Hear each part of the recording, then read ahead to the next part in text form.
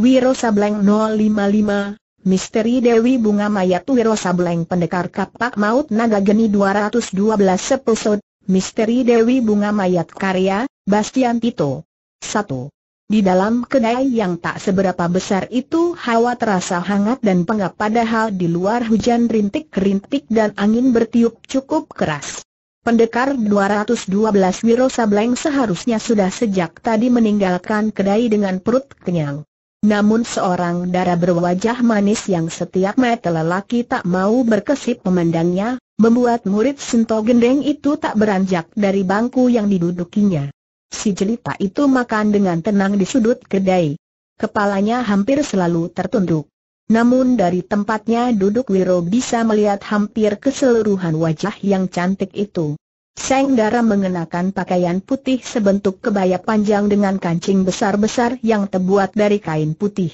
Dia tidak mengenakan kain panjang sebagaimana biasanya orang memakai kebaya, tetapi mengenakan sehelai celana panjang sebatas betis juga berwarna putih.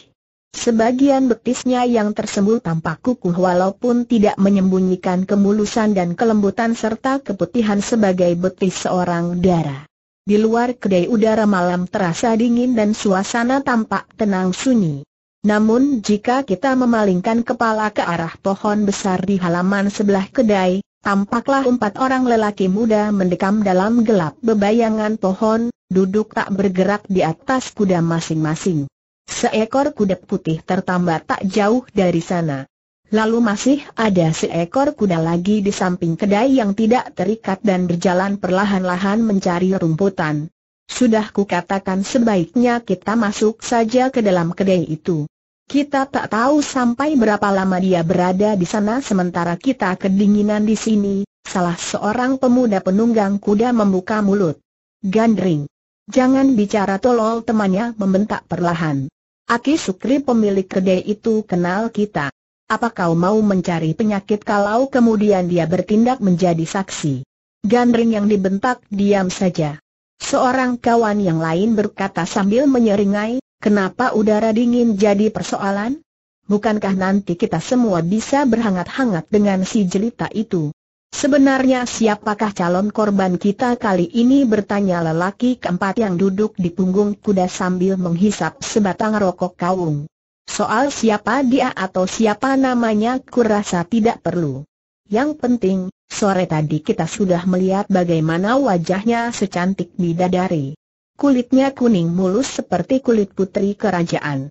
Lalu pinggangnya yang ramping sedang dada serta pinggulnya yang begitu besar pemuda yang bicara ini membasahi bibirnya dengan ujung lidah sementara tenggorokan tiga kawannya tampak bergerak-gerak tanda mereka sama menelan air liur.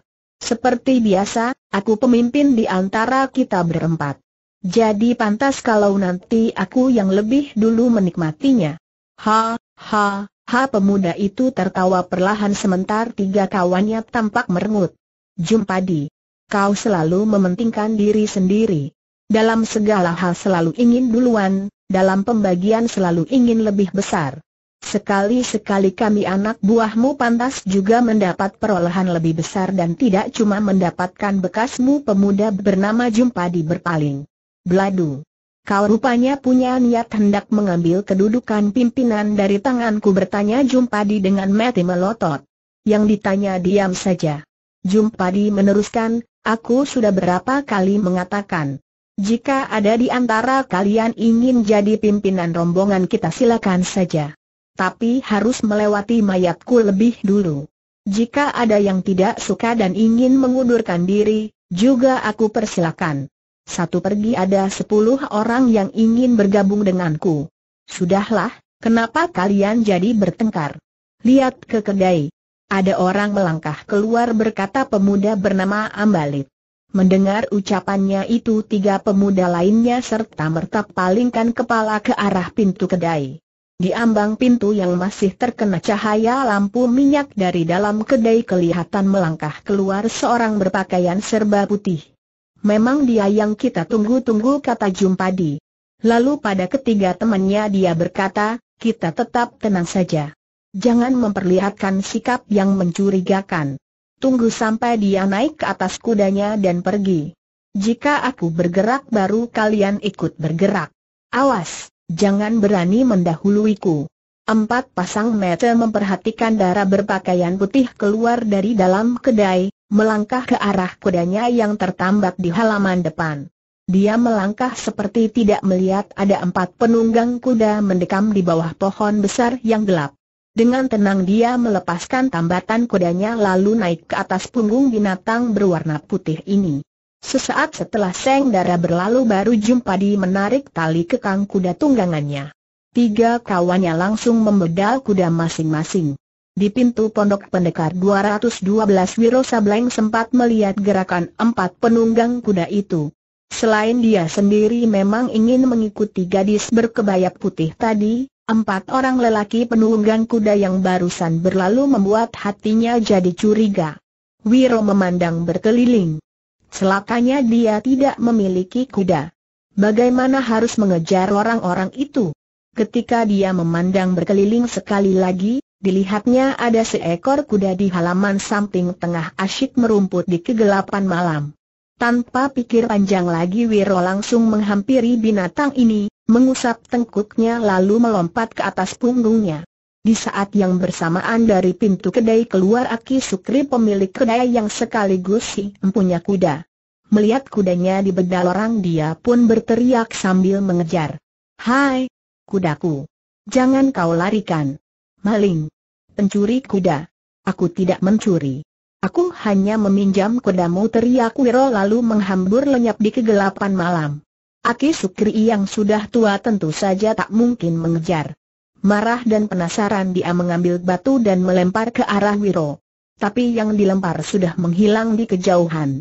Gadis berpakaian putih itu meskipun tahu ada orang-orang mengejarnya tetap saja menunggangi kuda dengan sikap tenang bahkan seperti santai. Dalam waktu cepat empat pemuda itu berhasil mendekatinya. Saat itulah Seng Dara menyentakkan tali kekang tunggangannya. Kuda putih itu laksana anak panah melesat dari busurnya, melompat sebat meninggalkan para pengejar. Empat pemuda jadi penasaran. Mereka memacu kuda, meneruskan pengejaran sekencang-kencangnya. Hampir keempatnya mendekati si gadis dan mencapai kuda putih itu, tiba-tiba si gadis kembali menggebrak tunggangannya meninggalkan empat pemuda jauh di belakang. Kurang ajar maki Jumpadi. Pemuda ini kenal betul seluk-beluk jalan yang ditempuhnya, termasuk daerah sekitar situ. Maka dia pun berteriak pada tiga kawannya, gadis itu sengaja mempermainkan kita. Ambil jalan sebelah kanan. Kita pasti bisa memotong jalannya sebelum dia mencapai jembatan bambu di Kaliwates. Maka empat kuda itu tampak memblok ke kanan, menyusuri kaki bukit kecil terus menuju selatan. Dalam waktu singkat mereka berhasil mencapai jembatan bambu yang dikatakan jumpa di tadi. Di sini mereka berjajar dua di sisi kiri, dua di sisi kanan. Sebentar lagi darah berbaju putih itu pasti akan muncul. Di kejauhan memang terdengar suara kaki kuda dipacu mendatangi. Sesaat kemudian tampak penunggang berpakaian putih tapi kudanya berwarna coklat kehitaman. Bangsat! Bukan darah itu kertak jumpa di marah. Yang muncul ternyata adalah seorang pemuda berpakaian putih, berambut gondrong dan bukan lain adalah murid Sinto Gendeng. Ketika Jumpadi hendak memaki lagi, di belakang mereka terdengar suara kuda meringkik. Heran tapi juga terkejut Jumpadi dan tiga kawannya palingkan kepala. Astaga! Apa yang mereka lihat? Di jalan di seberang jembatan bambu tampak seekor kuda putih dan penunggangnya tegak membelakangi. Itu dia seru Ambalit. Aneh. Bagaimana mungkin dia sampai di seberang sana lebih dulu dari kita Jumpadi berkata penuh heran. Jumpadi, lihat. Gadis itu mengunggangi kudanya perlahan-lahan. Seperti sengaja menunggu kita berkata Bladu. Dia bukan menunggu, tapi benar-benar mempermainkan kita ujar Gandring. Rahang jumpa di menggembung. Saat ini dia bisa mempermainkan kita. Tapi lihat nanti. Nanti aku yang akan mempermainkannya sampai dia menjerit minta ampun habis berkata begitu jumpa di menggebrak kudanya. Tiga pemuda lainnya menyusul mengejar. Dan di belakang mereka pendekar 212 Wiro Sableng kembali mengikuti. Celakanya kuda yang ditunggangi Wiro tidak mampu berlari cepat dan dalam perjalanannya sudah beberapa kali membuang kotorannya. Binatang Sontoloyo maki Wiro. Kotoranmu saja yang banyak. Larimu seperti siput. Kejar mengejar antara darah berbaju dan berkuda putih dengan empat pemuda itu berlangsung terus hampir sepeminuman teh sementara dengan kuda bututnya Wiro masih terus mengikuti walau tertinggal jauh di belakang. Jumpa di Lihat Gandring tiba-tiba berseru. Gadis yang kita kejar itu mengambil jalan ke kanan, mengarah ke bukit. Kalau dia menuju ke sana memangnya mengapa sentak jumpa di yang saat itu tengah jengkel karena masih belum berhasil mendekati apalagi menangkap darah yang tengah mereka kejar. Itu jalan menuju pekuburan batu ungkur menyahuti Gandring. Keneraka pun aku akan tetap mengejarnya kata Jumpadi pula. Kalau kau dan yang lainnya merasa takut, kembali saja. Biar aku sendiri meneruskan pengejaran. Tapi awas. Jangan nanti kalian ribut-ribut karena tidak mendapat bagian lalu jumpa di menggebrak kudanya agar lari lebih kencang. Batu Wungkur memang sebuah daerah pekuburan yang terletak di sebuah bukit yang cukup tinggi. Walaupun hari malam dan hujan turun rintik-rintik saat itu, namun karena pekuburan merupakan kawasan yang terbuka, dengan jelas tampak darah berbaju putih bersama kudanya berhenti di salah satu bagian pekuburan, menghadap ke arah utara dari mana para pengejarnya akan segera muncul. Tak lama kemudian empat pemuda itu sudah kelihatan di arah masuk pekuburan. Seng Dara mengelus kepala kuda putihnya beberapa kali lalu berbisik, Kuda, kau pergilah.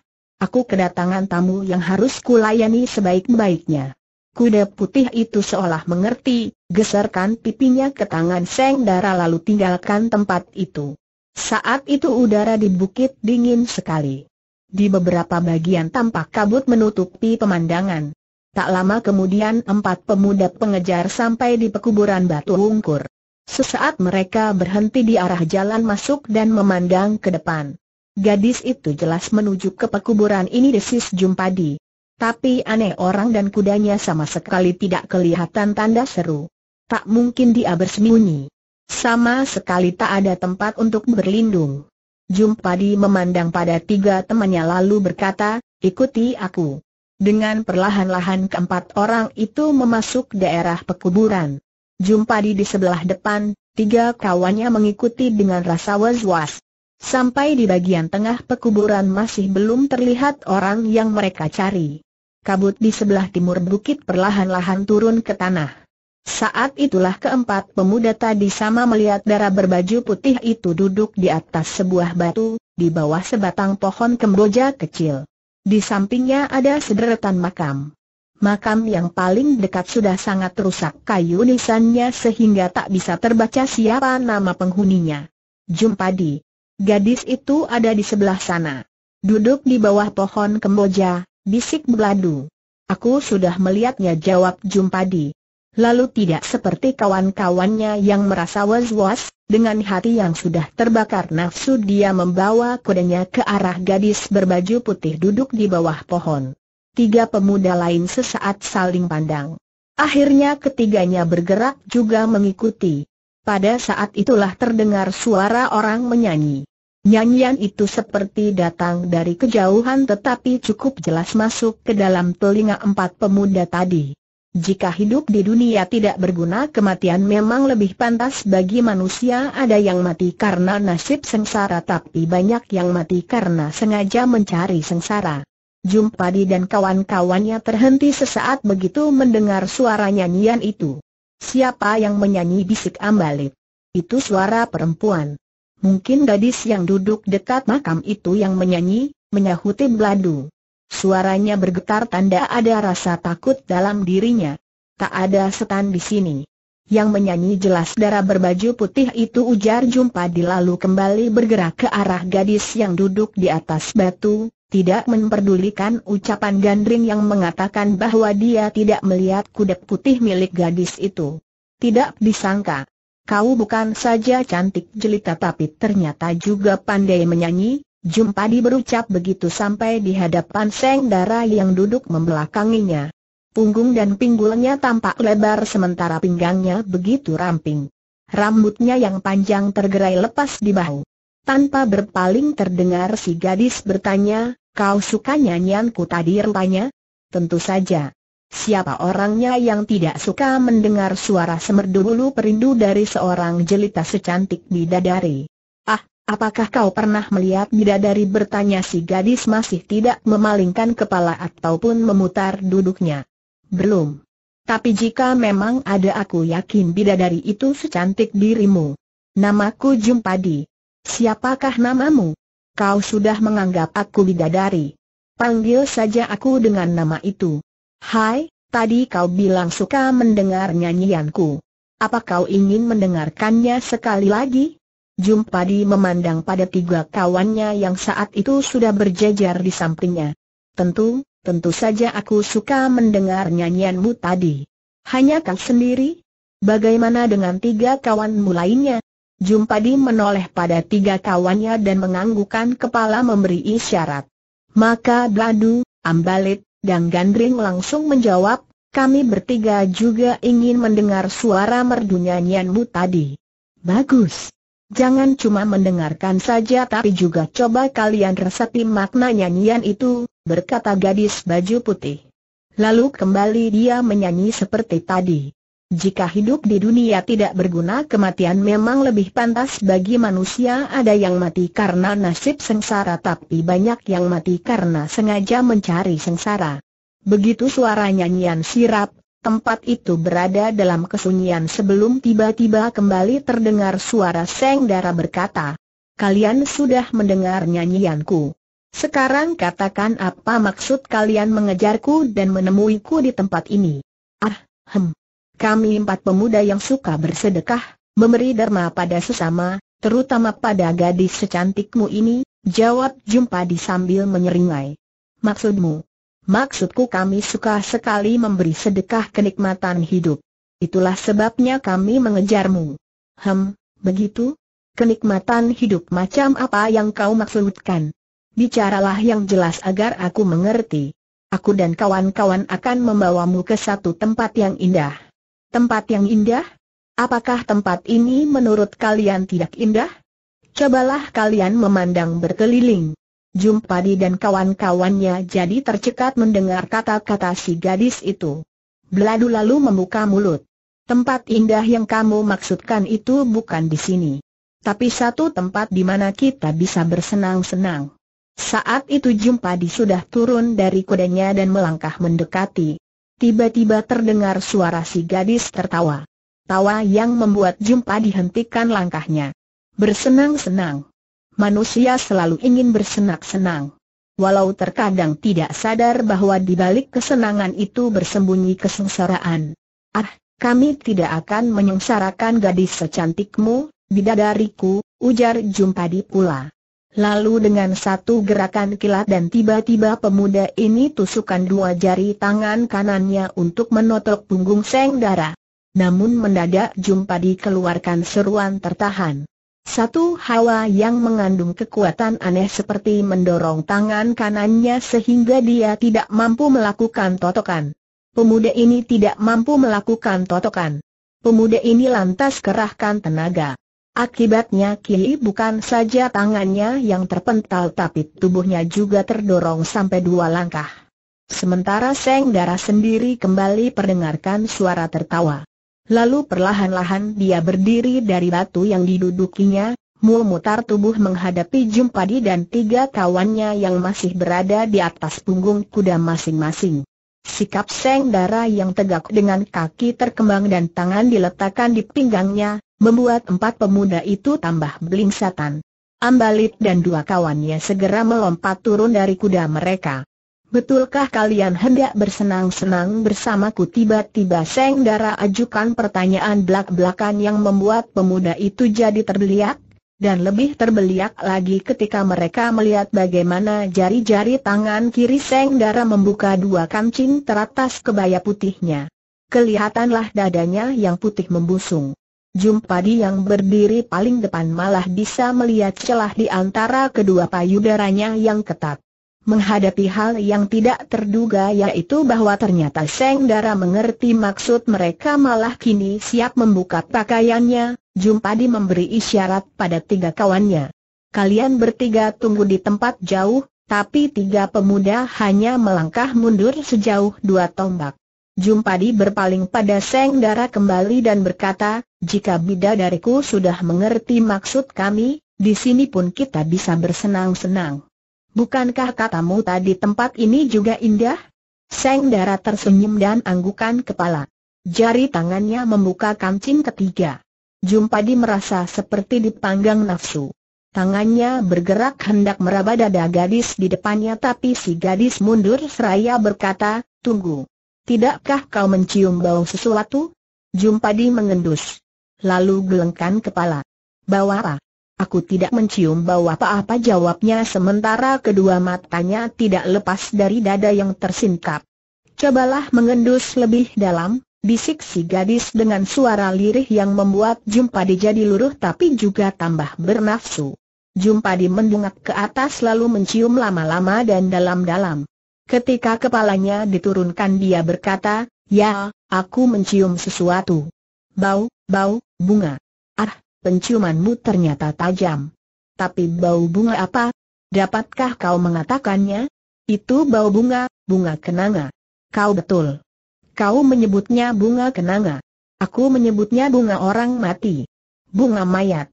Habis berkata begitu Seng Dara keluarkan tawa. Mula-mula perlahan tapi lama-lama semakin keras. Di hadapannya, Jumpadi yang sudah kelangsangan menahan nafsu kembali mendekat dan berbisik, bidadariku, mari kita pindah ke bawah pohon di sebelah sana. Di situ tanah yang lebih rata. Seng Dara tersenyum dan menggeliat. Gerakan tubuhnya ini membuat bajunya yang tidak terkancing tambah tersingkap lebar. Jumpadi tak tahan lagi. Serta merta saja tubuh gadis itu diterkamnya. Jumpadi yang dilanda nafsu sama sekali tidak melihat bagaimana wajah cantik jelita yang tadi tersenyum kini tiba-tiba berubah. Senyum lenyap dan wajah itu kini membersihkan kebengisan luar biasa. Senyum berubah dengan seringai maut. Hampir tak kelihatan gadis itu gerakan tangan kanannya. Sebuah benda berwarna kuning melesat. Bau bunga kenanga yang sangat tajam menebar di udara malam. Lalu terdengar pekik Jumpadi. Dua. Pemuda bernama Jumpadi itu roboh ke tanah dan tak berkutik lagi. Tiga kawannya berteriak kaget lalu sama-sama memburu. Dan bergidiklah mereka melihat apa yang terjadi. Jumpadi menggeletak melintang di atas makam. Dia telah jadi mayat. Mukanya berlumuran darah. Kedua matanya mencelet. Di antara lumuran darah itu tampak menancap sekuntum bunga kenanga kuning. Dan di saat itu pula udara di situ dibuncah oleh bau bunga kenanga. Ambalit, gandring, dan Bladu memandang melotot ke arah darah berbaju putih. Si gadis tegak dongakan kepala. Dari sela bibirnya yang merah mendesau suara tawa. Mula-mula perlahan lalu makin keras dan panjang. Meski jelas yang berdiri di hadapan mereka adalah seorang gadis cantik jelita namun saat itu tiga pemuda tadi merasakan bulu tengkuk berdiri dan mereka seperti melihat setan kepala tujuh. Dewi Bunga Maya teriak mereka bersamaan. Lalu serentak ketiganya melompat jauh dan putar tubuh ambil langkah seribu. Di belakang mereka terdengar suara tertawa panjang. Kalian hendak lari ke mana? Mengapa lari? Bukankah maksud kalian hendak bersenang-senang bersamaku malam ini? Hik, hik, hik. Mendengar ucapan itu, tiga pemuda sama lari tunggang langgang. Tapi baru lari beberapa belas langkah tahu-tahu ada bayangan menyambar di hadapan mereka dan darah berbaju kebaya putih itu tiba-tiba sudah menghadang sambil terus keluarkan suara tertawa cekikikan. Dewi Bunga Mayat.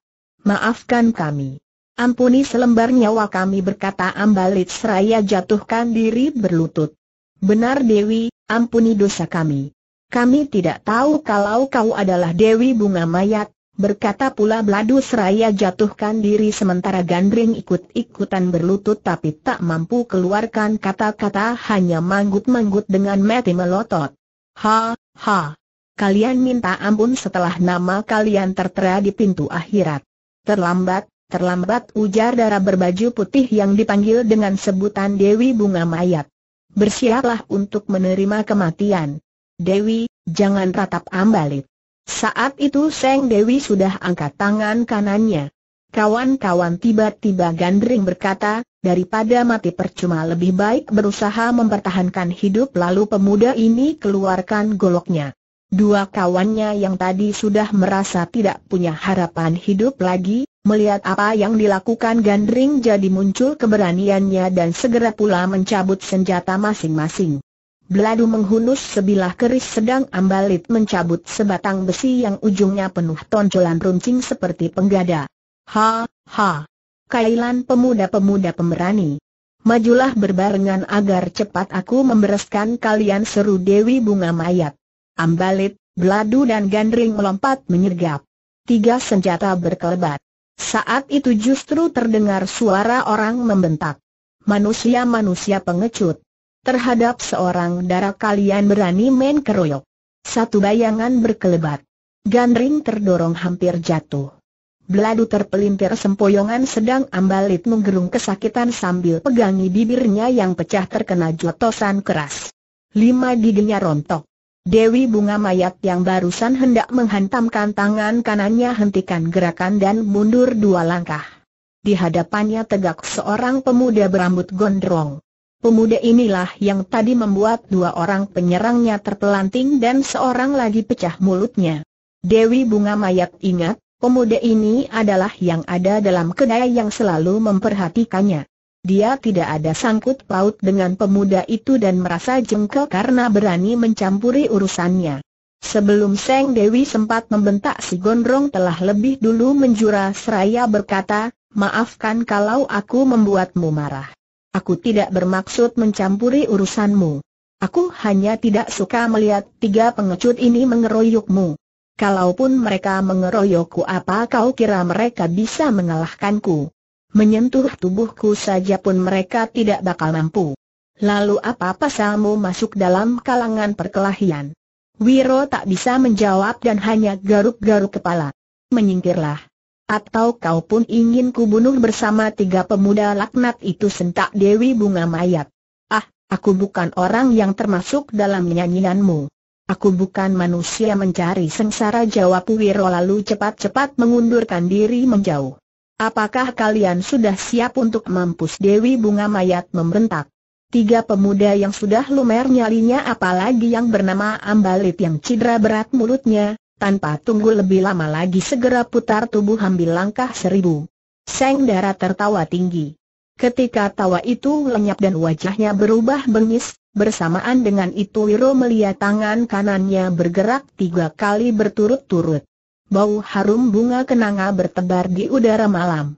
Tiga benda melesat di kegelapan malam. Di depan sana tiga pemuda yang menyelamatkan diri terdengar menjerit lalu roboh malang melintang di atas tanah kuburan. Tak satu pun yang berkutik dan bernafas lagi. Mereka menemui ajal dengan tunggung, tengkuk, dan batok kepala ditancapi bunga kenanga alias bunga mayat. Pendekar 212 lelekan lidah, memandang ternganga ke arah gadis berbaju putih itu.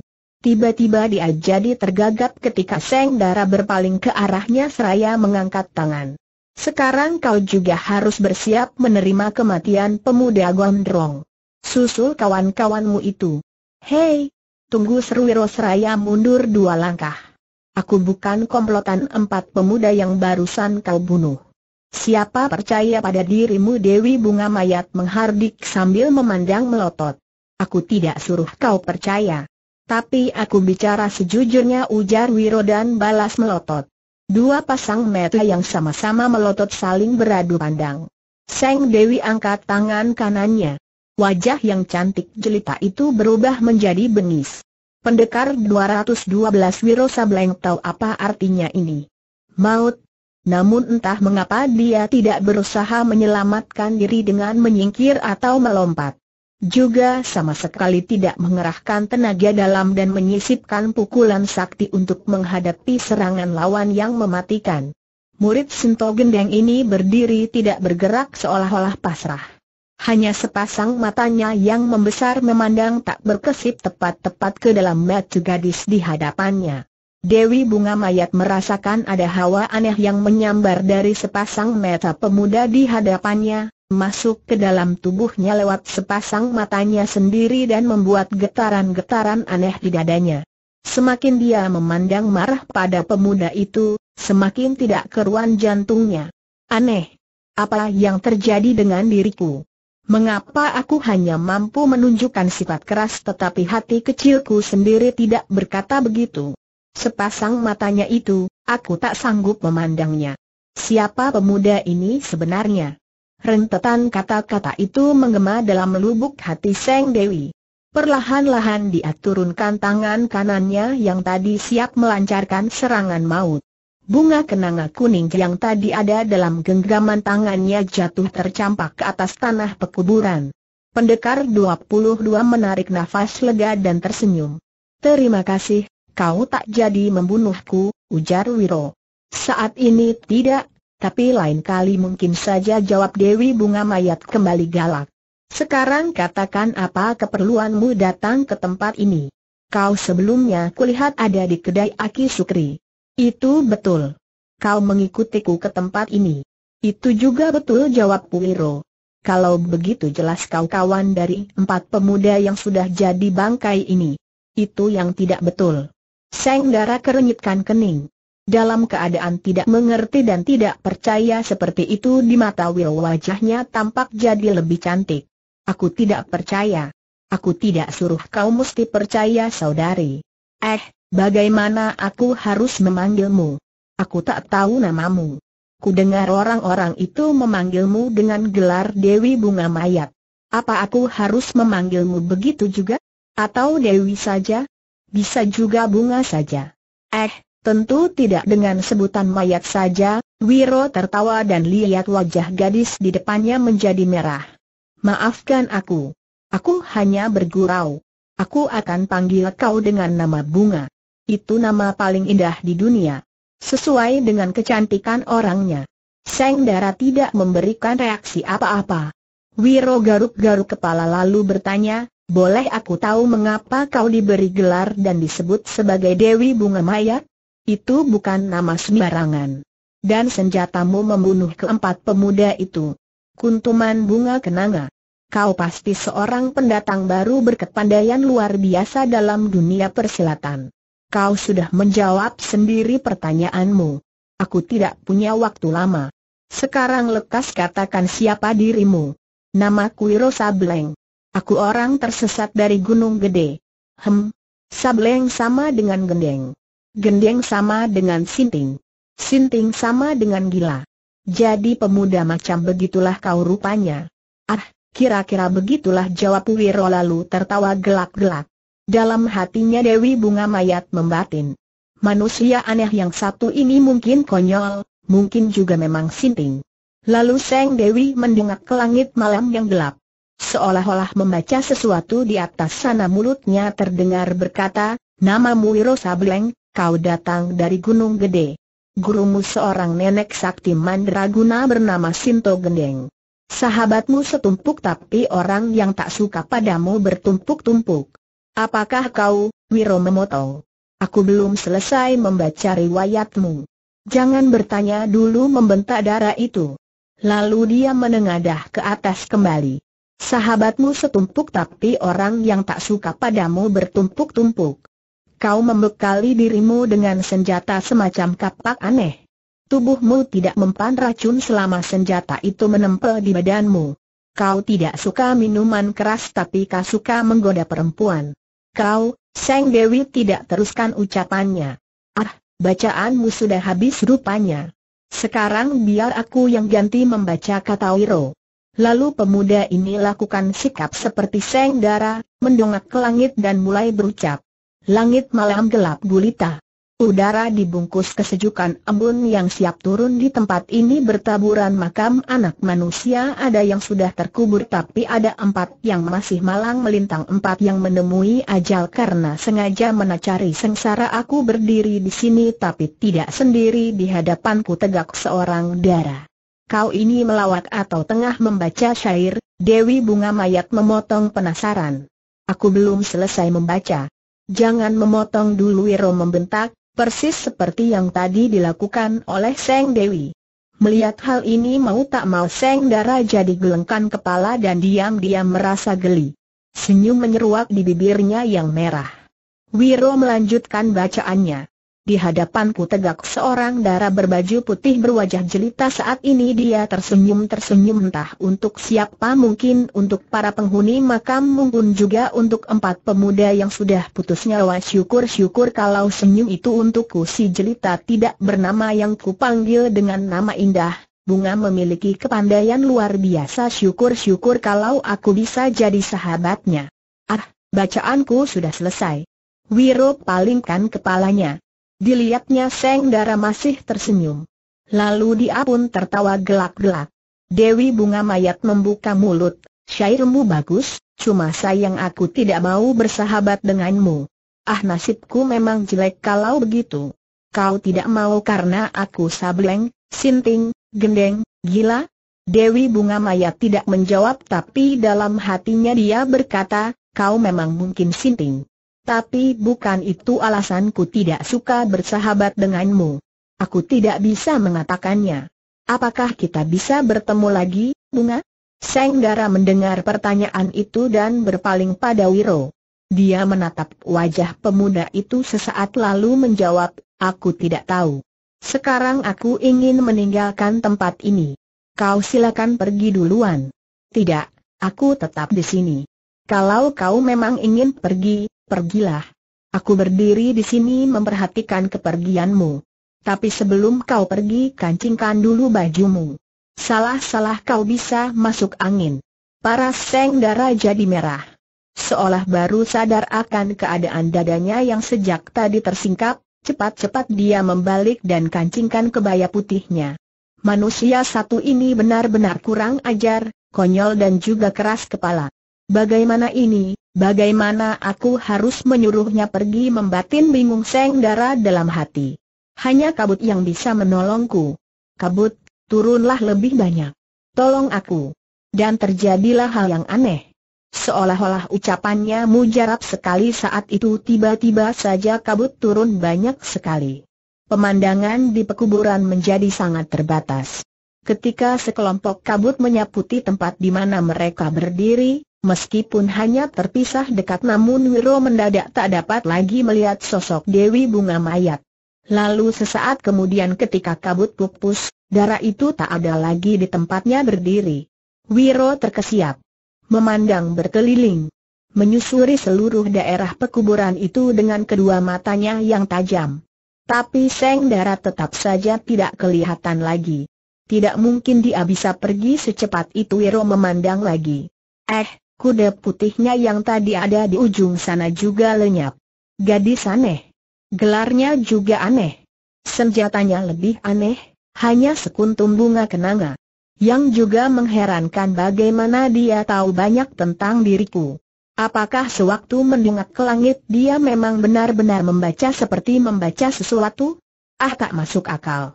Wiro memandang ke tanah.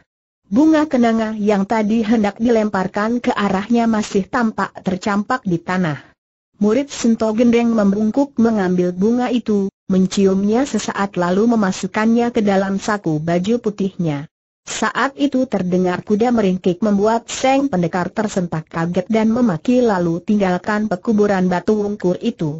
Baru dua langkah bertindak tiba-tiba ekor mata pendekar 212 melihat ada sesuatu bergerak di kegelapan di samping kirinya.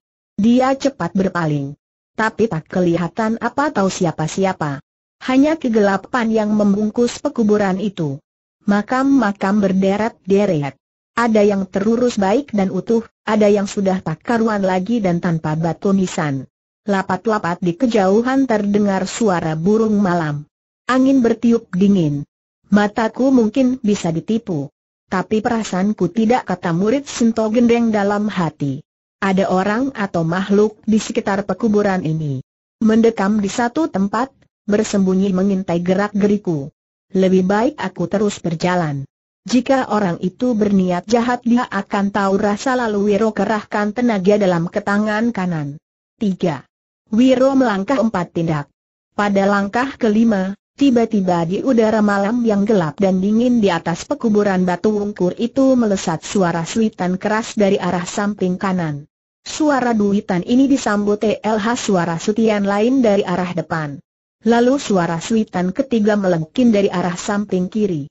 Ketika pendekar 212 hentikan langkahnya, Tiga sosok bayangan tampak berkelebat sebat dan tahu-tahu tiga sosok aneh sudah mengurungnya dari arah muka dan kiri kanan. Murid Sinto Gendeng dari Gunung Gede ini angkat tangan kanannya, siap menghantam. Tapi gerakannya serta merta tertahan ketika melihat siapa yang saat itu mengurungnya. Tiga sosok tubuh itu adalah ternyata tiga manusia katai perempuan. Pakaian dan tampang mereka serta rambut yang dikuncir membuat ketiganya tampak lucu. Tapi di balik kelucuan itu tersembunyi satu kenakaran yang mematikan. Wajah tiga perempuan cebol ini membekal maut. Ketika ketiganya menyeringai kelihatan bahwa mereka memiliki gigi-gigi kecil yang berwarna hitam berkilat. Di mana dia tiba-tiba si cebol di sebelah depan membentak. Suaranya nyaring tapi kecil. Eh, Kau bertanya siapa pada siapa tanya Wiro. Kami bertanya dia padamu. Dia siapa tanya Wiro pula. Jangan berpura-pura seru si cebol perempuan sebelah kanan kiri menghardik. Barusan dia ada di sini. Berbincang-bincang denganmu. Dan kau berani berpura-pura tidak tahu. Kawan-kawan membuka mulut perempuan kata di sebelah kiri. Kalau dia jelas-jelas kawan orang yang kita cari, Mengapa harus membuang waktu bertanya jawab? Kita bereskan saja dia saat ini juga. Setuju teriak si katai di sebelah depan. Terdengar tiga jeritan dahsyat. Tiga tubuh pendek itu laksana bola melesat ke arah Wiro Sableng. Tiga serangan maut menebar. Wong Edan teriak pendekar 212 ketika dilihatnya serangan tiga manusia karai itu benar-benar ingin membunuhnya. Mereka memegang senjata berbentuk klurit kecil di tangan kiri masing-masing. Ternyata ketiga maunia katai perempuan ini sama-sama kidal. Senjata itu berkilat-kilat dan menderu dalam gelapnya malam. Manusia katai di sebelah depan membabatkan klurit kecilnya ke arah batang leher pendekar 212 yang di samping kiri menyapu ke perut sedang yang di sebelah kanan menghunjamkan serangan ke selangkangan pendekar ini. Tiga serangna mematikan itu disertai dengan pekik jerit membukakan telinga. Agaknya tiga manusia katai ini sengaja berteriak begitu agar lawan terpengaruh dan lengah. Murid yang Sinto Gendeng angkat kedua tangannya menghantam dengan pukulan sakti bernama dinding angin berhembus tindih menindih. Terdengar suara seperti angin puting beliung di atas pekuburan itu. Tiga manusia katai yang lancarkan serangan sambil melompat tampak seperti hendak tersapu tunggang langgang. Namun sambil terus berteriak ketiganya berjungkir balik di udara lalu membalik sambil membabat kembali dengan senjata masing-masing. Tapi tampaknya mereka tidak sanggup menembus hantaman angin. Ketiganya kerahkan tenaga berusaha keras menerobos dinding angin yang tidak kelihatan. Mereka tampak seperti mengapung di udara. Pakaian dia dan rambut berkibar-kibar. Mata membeliak dan mulut berteriak-teriak. Wiro terus kerahkan tenaga dalamnya. Beberapa kali tangannya kiri kanan dihantamkan agar dapat menghempaskan tiga penyerang itu tapi tetap saja musuh-musuh karai itu bertahan di udara. Masih untung ketiganya berada di sebelah depan. Kalau ada yang menyerang dari belakang pasti akan bobol pertahanan murid Sinto Gendeng. Keringat bercucuran dari punggung dan wajah Wiro Sableng. Tiga perempuan katai masih terus mengapung dan mencoba menembus pertahanannya. Dan tiba-tiba setelah bertahan sekian lama. Astaga! Salah seorang dari mereka berhasil lolos menerobos dinding angin. Beret. Kelurit kecil membabat di perut Wiro, merobek pakaian putihnya. Kurang ajar maki pendekar 212 lalu melompat mundur dengan muka pucat. Lompatan mundur yang dilakukannya membuat tiga pengeroyok seperti tersedot. Tiga manusia karai itu kembali menggempur. Dan kini pertahan dinding angin pendekar 212 benar-benar jebol. Tiga manusia karai melesat. Tiga klurit berkiblat. Wiro memukul dengan pukulan kunyuk melempar buah, tangan kanannya menghantam membentuk tinju. Begitu lengan melurus lima jari dibuka. Maka menderulah gelombang angin laksana gumpalan batu besar. Tiga musuh katai berterak keras. Namun hanya satu yang kena dihantam. Yang satu terpental sejauh dua tombak, bergulingan di tanah lalu diam tak berkutik. Mati dengan kepala pecah.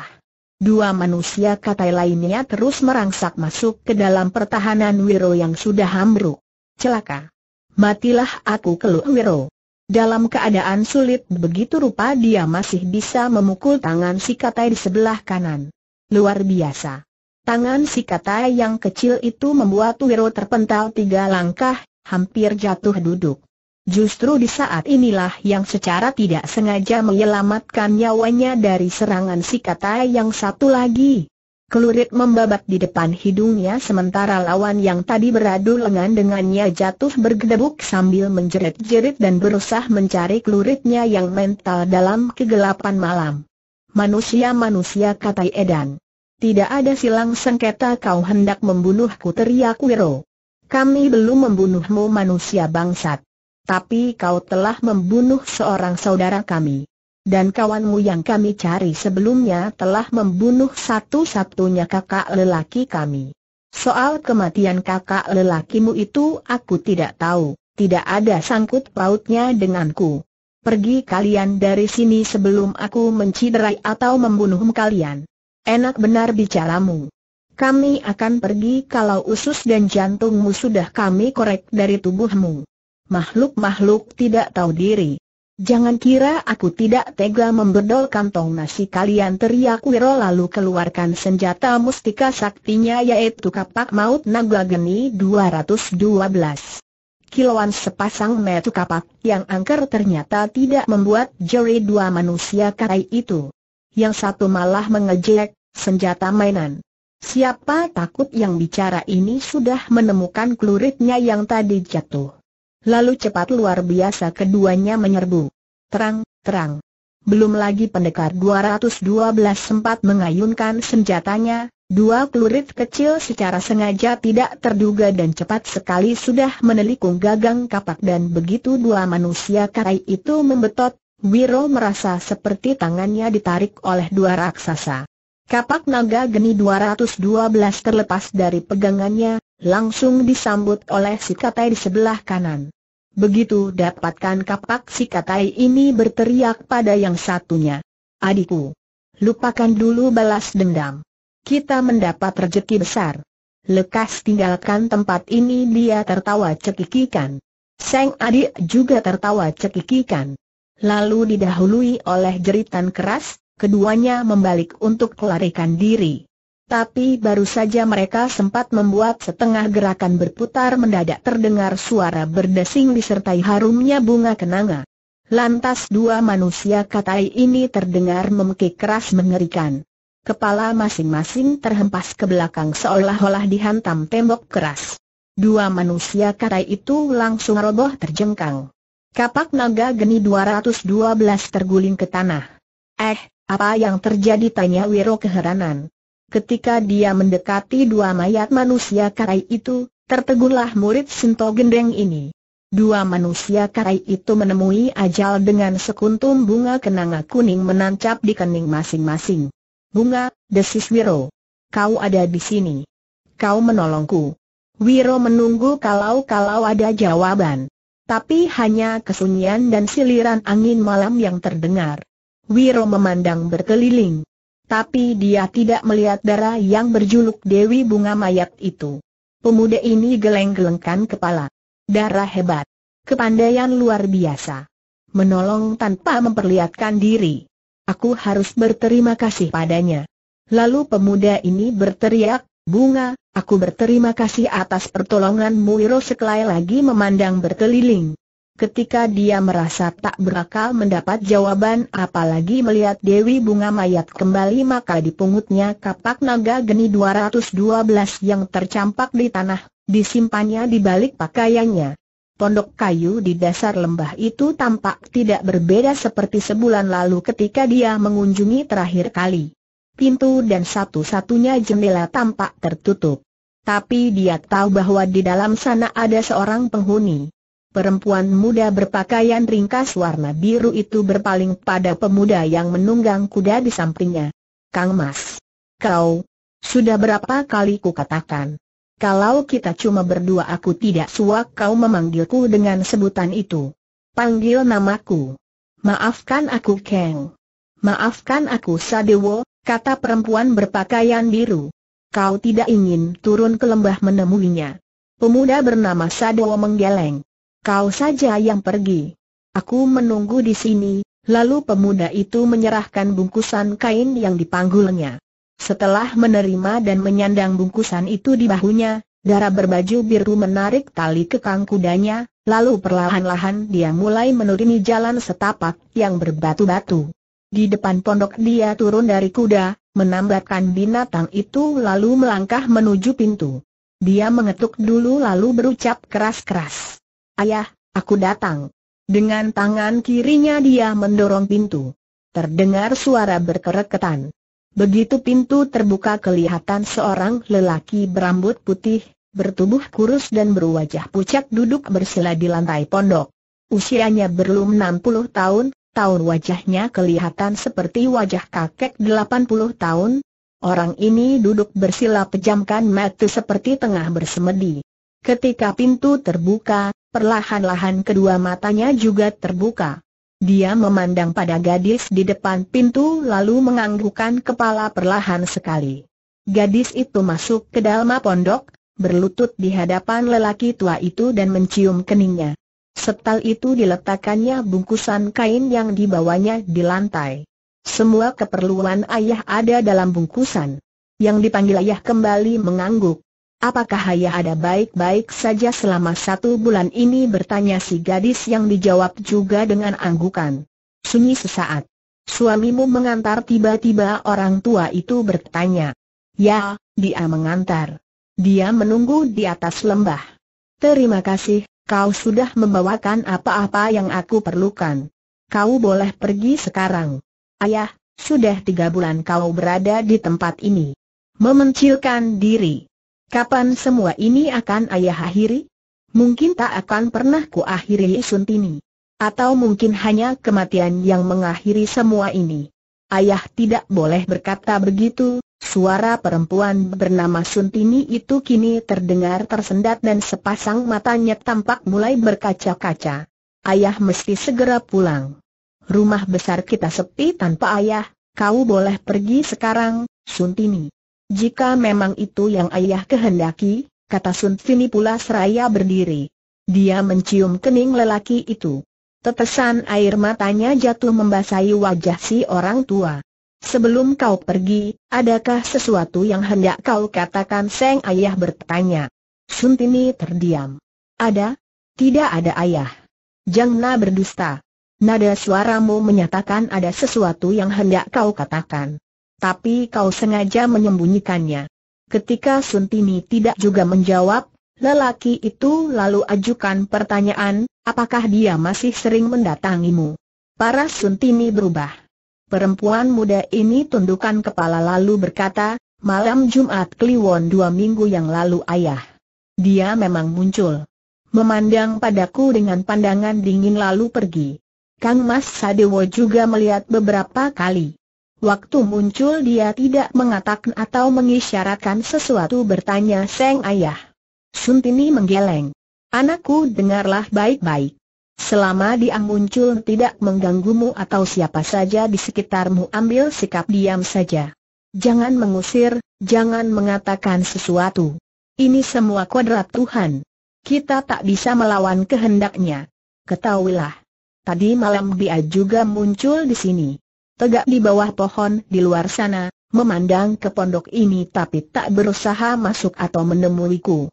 Kalau aku ada kesempatan menjenguk makam ibumu, aku akan berusaha untuk melihatnya. Selama ini apakah kau dan suamimu pernah menjenguknya? Aku takut ayah. Benar-benar takut melakukan hal itu, jawab Suntini. Aku mengerti perasaanmu. Kau boleh pergi sekarang. Lain bulan kau tak perlu datang kemari mengantarkan apa-apa. Aku bisa memenuhi kebutuhanku sendiri. Berarti ayah tidak akan pulang ke rumah? Aku tidak tahu anakku, jawab orang tua yang duduk bersila itu lalu menarik nafas panjang. Suntini berdiri, melangkah ke pintu dan lenyap di balik daun pintu yang ditutupkan. Di dalam pondok Seng ayah pejamkan kedua matanya. Namun kali ini di antara sela kelopak matanya kelihatan ada tetes air mata yang menyeruak. Ketika Suntini sampai di atas lembah, dia terkejut dan keluarkan seruan tertahan sewaktu melihat Sadewo, suaminya, tergeletak melungkup di tanah. Suntini melompat turun dari kuda dan cepat membalikan tubuh Sadewo. Kang Mas.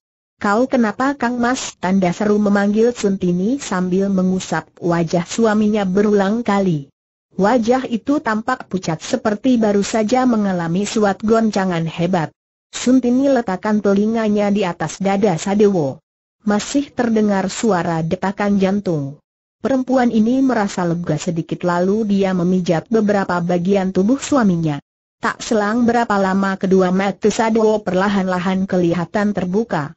Begitu terbuka lelaki muda ini melompat terduduk dan memandang berkeliling dengan wajah ketakutan. Ada apa, Sadewo? Siapa yang kau cari? kau melihat sesuatu bisik Suntini dengan lebih keluh dan ikut-ikutan memandang berkeliling sementara dadanya berdebar keras. Dia, dia tadi muncul di dekat batu besar sana, terdengar Sadewa menyaut. Suaranya gemetar.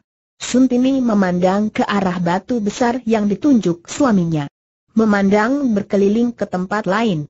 Dia tidak melihat siapa-siapa. Dia, biasanya dia hanya memandang dari kejauhan. Tapi sekali ini dia melangkah mendatangiku.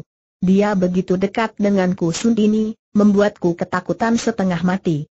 Dia seperti hendak membuka mulut mengatakan sesuatu. Tapi saat itu ada suara kaki kuda mendatangi. Mungkin sekali kuda tunggangmu. Lalu aku jatuh pingsan. Kalau begitu kita harus meninggalkan tempat ini cepat-cepat, kata Suntini pula. Dia membantu suaminya berdiri, memapahnya ke arah kuda. 4. Dua hari setelah peristiwa di Bukit Batu Ungkur, pendekar 212 Wiro Sableng mengunjungi kedai Aki Sukri. Dia duduk memencil di sudut kedai sampai larut malam. Ketika pemilik kedai bersiap untuk menutup kedainya mau tak mau akhirnya pendekar itu berdiri dari bangkunya. Anak muda, kau seperti tengah menunggu seseorang di kedai ini, berkata pemilik kedai ketika Wiro memberikan uang pembayaran. Ah, matamu tajam juga orang tua. Bagaimana kau bisa tahu bertanya Wiro? Setiap saat kau selalu memandang ke pintu. Dan kau tampak kecewa jika ada tamu masuk tetapi bukan orang yang kau nantikan. Kau berjanji dengan seseorang? Wiro menggeleng. Lalu siapa yang kau harapkan muncul di kedai ini? Tanya Aki Sukri. Aki, Dua malam lalu aku mampir di sini. Kau ingat? Aku ingat. Karena malam itu kemudian diketahui ada empat mayat menggeletak di pekuburan batu ungkur.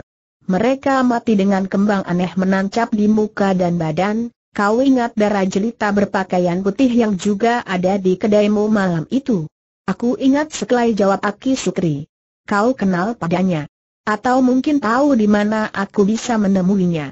Pemilik kedai menatap wajah pendekar 212 sesaat lalu gelengkan kepala. Wajah cantik itu memang seperti pernah kulihat sebelumnya. Tapi entah di mana dan entah kapan. Waktu dia ada di sini aku tak berani bertanya. Kelihatannya dia seperti tidak mau diusik. Dia memang bukan darah sembarangan, kata Will pula. Maksudmu, anak muda tanya Aki Sukri.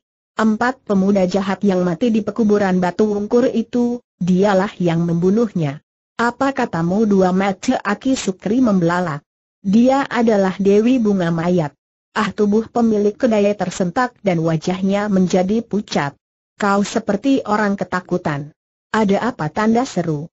Jadi, jadi darah itulah yang tengah kau cari suara Aki Sukri bergetar.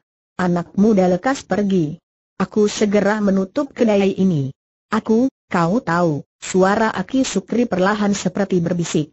Kalau memang darah itu manusia yang berjuluk Dewi Bunga Mayat, hati-hatilah anak muda. Dia sanggup membunuh manusia tanpa berkedip. Kepandaiannya tinggi. Kabarnya saat ini dia jadi momok nomor satu di wilayah Jawa Tengah ini. Momok katamu. Gadis secantik itu kau katakan momok. Dia muncul seperti setan. Lenyap seperti setan. Membunuh di sana sini. Apa itu bukan momok? Wiro tertawa bergelak. Kepandaiannya tinggi luar biasa itu memang betul. Dia membunuh tanpa berkesip itu juga betul. Tapi dia bukan setan. Dia hanya membunuh orang-orang jahat.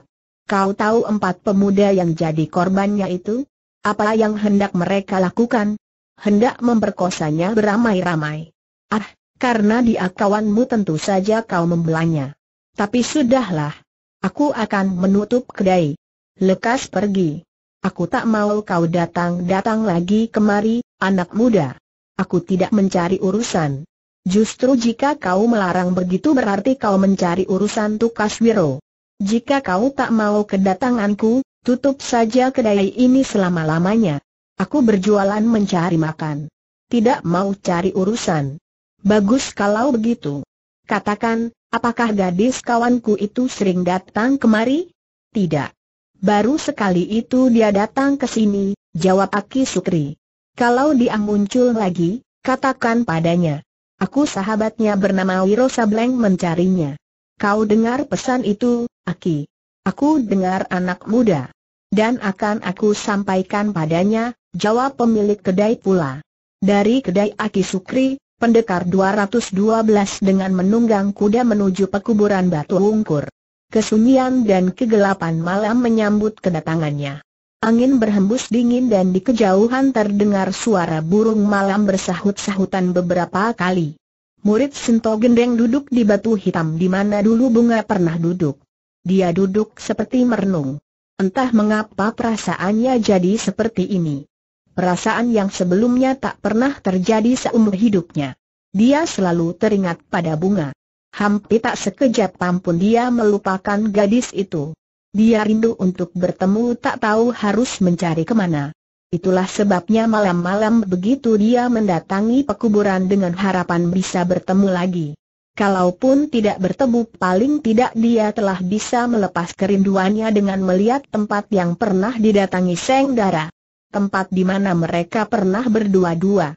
Dan diakini duduk di batu yang pernah diduduki bunga. Bunga, bisik kalbu pendekar 212. Di mana kau? Di mana aku bisa menemuimu, Bunga?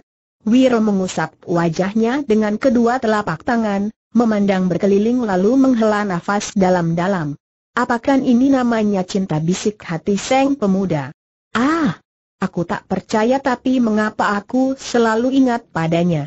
Mengapa ada perasaan rindu bertumpuk di hatiku? Gila betul. Dalam perjalanan hidupnya tentu saja pendekar 212 telah bertemu dengan banyak gadis berwajah cantik. Namun semua berlalu tanpa perasaan apa-apa. Berlainan sekali dengan yang satu ini. Padahal baru dua hari lalu dia melihat dan bertemu. Dan kini ada rasa rindu mencucuk hatinya. Gila kata Wiro pula sambil memukul lututnya sendiri. Kedua tangannya mengeruk ke dalam saku baju. Tangan yang kanan memegang sesuatu. Ketika dikeluarkannya ternyata itu adalah bunga kenanga senjata bunga yang dua malam lalu dipungutnya. Aneh, desis Wiro memperhatikan dan menimang bunga kenanga. Bunga ini mengapa tidak layu? Keharumannya tidak berbeda seperti pertama kali aku memungutnya, lalu bunga kenanga itu dibawanya ke hidungnya, diciumnya lama-lama penuh perasaan. Bunga, aku mencarimu. Aku ingin bertemu, Wiro bicara sendirian. Malam berlalu bertambah sunyi dan bertambah dingin. Tanpa disadarinya pendekar 212 jatuh tidur dalam keadaan terduduk di atas batu. Wiro. Satu suara memanggil. Pendekar 212 kenal sekali suara itu. Suara orang yang dirinduinya, yang selama ini dicari-carinya. Begitu berpaling dilihatnya darah itu tersenyum padanya. Bunga. Aku sudah lama menunggumu di sini, Wiro, kata Bunga Seraya melangkah mendekati. Wiro datang menyongsong. Keduanya saling bergenggaman tangan. Aku mencarimu setengah mati. Setengah mati. Ah, masa? Setengah mati karena rindu. Kangen. Kau tidak kangen padaku, Bunga? Tidak, jawab Seng Dara lalu tertawa cekikikan. Tentu saja aku juga kangen padamu, Wiro.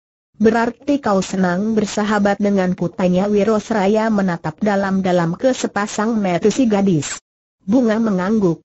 Aku suka bersahabat denganmu. Tapi, tapi apa, Will? Aku tak ingin hubungan kita hanya sampai pada jalinan persahabatan saja. Maksudmu yo? Aku, aku tidak tahu perasaan apa yang ada dalam diriku sejak pertama kali aku melihatmu. Kurasa aku mencintaimu, bunga. Ya betul. Aku mencintaimu. Paras bunga berubah. Dia seperti ketakutan. Diremasnya jari-jari tangan pemuda itu tapi kemudian dilepaskannya. Kau mencintai Koyo? Jangan, jangan mencintai Kuiro, bunga melangkah mundur. Mengapa aku tidak boleh mencintaimu bunga? Percayalah, aku tidak berdosa dan tidak mempermainkanmu. Demi Tuhan, jangan mencintai Kuiro. Cinta berarti kematian bagi diriku, suara bunga tersendat. Wiro melihat ada air mati menetes di kedua pipi darah itu. Kau menangis, bunga, bisik Wiro dan melangkah mendekat tapi yang didekati semakin menjauh. Melangkah mundur. Bunga, kau mau ke mana Wiro mengejar? Jangan kejar aku Wiro, jangan. Bunga, jangan mundur. Ada jurang di belakangmu teriak Wiro. Darah itu berpaling ke belakang. Tapi terlambat. Kaki kanannya terpeleset dan tubuhnya melayang jatuh ke dalam jurang yang dalam. Pekiknya mengumandang. Tapi teriakan Wiro lebih keras lagi. Bunga. Pendekar 212 tersentak dan dapatkan dirinya terduduk di atas batu hitam di antara makam di pekuburan batu ungkur. Ah, bermimpi aku rupanya, kata pemuda ini termangu-mangu. Di tangan kanannya masih tergenggam bunga kenanga senjata Dewi Bunga Mayat. Bunga ini. Tadi aku menciumnya. Lalu jatuh tertidur dan bermimpi. Apakah, apakah hanya ini satu-satunya care aku dapat bertemu dengan dia? Hanya dalam mimpi? Pendekar 212 merasa kelesuan menjalari seluruh tubuhnya. Perlahan-lahan dia berdiri, memandang berkeliling. Lalu melangkah ke tempat dia menambatkan kudanya. Bunga kenanga dengan penuh hati-hati dimasukkannya ke dalam saku bajunya. 5. Satu pemandangan aneh jika sebuah kereta tertutup yang jelek itu dikawal oleh hampir dari dua lusin orang berkuda. Bahkan di antara mereka tampak lima orang prajurit dan seorang perwira muda. Kereta yang ditarik dua ekor kuda itu menderu kencang di jalan berdebu. Matahari sore berwarna merah kuning keemasan. Rombongan bergerak cepat menuju ke selatan yakni arah kota raja. Namun saat itu mereka tidak akan keburu mencapai tujuan sebelum pagi. Kota raja masih sangat jauh dan jalan yang ditempuh bertambah sulit serta buruk. Selain lima prajurit dan seorang perwira muda itu maka anggota rombongan lainnya adalah orang-orang berseragam pakaian dan ikat kepala merah. Semua mereka memelihara berwok dan kumis yang meranggas tidak diurus. Tampang mereka tak satu pun yang lumayan. Semua menunjukkan muka galak beringas. Di sebelah depan memacu kudanya seorang lelaki berpakaian merah dengan tubuh kurus tinggi luar biasa. Hampir mencapai satu setengah tombak. Berwok dan kumisnya yang lebat menyembunyikan wajahnya yang bopeng. Matanya besar dan merah. Dia adalah Kunto Pasirawang bergelar Datuk Hantu Merah, dikenal sebagai ketua komplotan Hantu Merah. Dalam dunia persilatan komplotan yang dipimpinnya ini terkenal sebagai komplotan bayaran yang melakukan apa saja asal mendapat bayaran. Yaitu mulai dari merampok, menculik sampai membunuh. Belakangan komplotan ini dikenal pula sebagai penyedia perempuan-perempuan lacur di berbagai kota termasuk kota raja. Bahkan ada selentingan datuk hantu merah sengaja mengirimkan perempuan-perempuan cantik pada pejabat-pejabat tertentu di istana. Itulah sebabnya selama sekian tahun komplotan bejatnya itu tidak pernah dikejar apalagi ditumpas.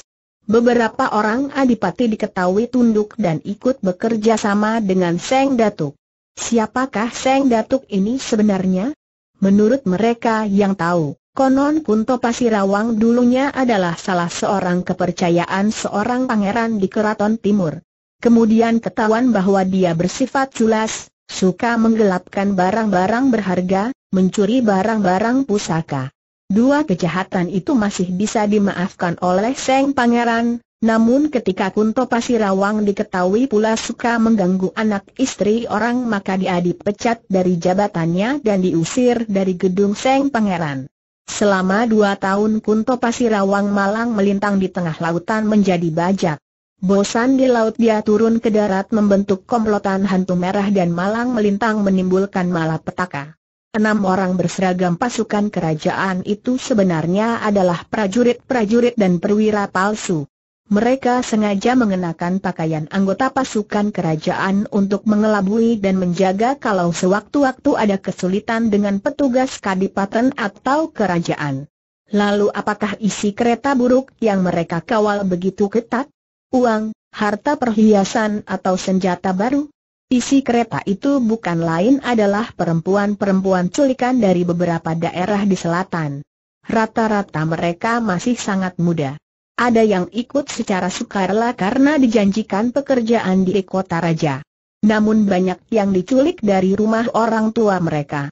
Sinar surya semakin redup tanda akan segera masuk ke tempat tenggelamnya. Jalan yang ditempuh mulai gelap.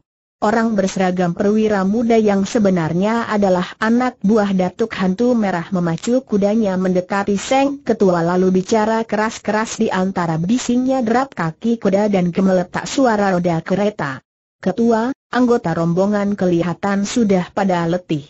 Malam ini sebaiknya kita berhenti dan istirahat di hutan Jatiroto. Besok sebelum matahari terbit baru meneruskan perjalanan ke kota raja. Menjelang tengah hari kita akan sampai di sana. Bagaimana pendapatmu? Aku tahu apa yang sebenarnya yang ada di otakmu. Wulung Kingkit sahut Datuk Hantu Merah menyeringai. Apa maksudmu ketua tanya perwira muda palsu bernama Wulung Kingkit itu? Sebelum gadis-gadis itu diserahkan pada mucikari di kota raja, kau akan memilih salah satu di antaranya lalu bersenang-senang malam ini. Bukan begitu tanda seru. Wulung Kingkit hanya bisa balas menyeringai. Tapi jangan khawatir Wulung.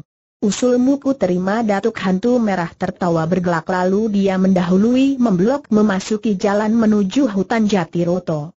Di suatu tempat yang agak datar malam itu rombongan komplotan Hantu Merah berhenti. Enam buah obor dinyalakan. Empat buah kemah besar didirikan. Setelah itu pintu belakang kereta dibuka. Dua puluh gadis keluar dengan wajah letih dan tubuh keringatan. Mereka dikumpulkan di dua tenda lalu diberi makan seadanya. Masing-masing mereka ditemani oleh anggota komplotan tanpa bisa menampik. Banyak di antara gadis ini yang mulai curiga dan ketakutan, meminta agar boleh naik ke dalam kereta kembali. Tapi permintaan itu tidak dikabulkan, malah banyak di antara mereka mulai dijejali tua keras. Datuk Hantu Merah berbaring ditemani dua gadis yang ketakutan setengah mati. Salah satu di antaranya mulai menangis. Anak bagus. Sekarang kau menangis. Nanti kalau sudah merasa kau akan berlutut minta tambah. Ha, ha, ha Seng Datuk tertawa bekakakan, teguk tuaknya lalu merangkul dan menciumi dua gadis yang dikempitnya di kiri kanan. Kemudian manusia tinggi kurus bermuka bopeng dan berewokan ini mulai menunjukkan kebejatannya. Gadis di sebelah kirinya dipaksanya membuka pakaian. Kesempatan ini dipergunakan oleh gadis yang tadi menangis untuk lari keluar tenda. Tapi Seng Datuk lebih cepat. Begitu berhasil menangkap gadis ini langsung seluruh pakaiannya dirobek-robek. Lalu gadis itu dibantingkannya ke alas tenda. Selagi berada dalam keadaan terlentang tak berdaya, Datuk Hantu Merah menindih tubuhnya. Saat itulah terdengar suara ribut-ribut di luar. Lalu ada seseorang berteriak, Ketua. Ada yang tidak beres. Lekas keluar. Bangsa terendah. Apa yang tidak beres? Apa kalian tidak bisa menyelesaikannya sendiri? Keparat teriak Seng Datuk dari dalam tenda.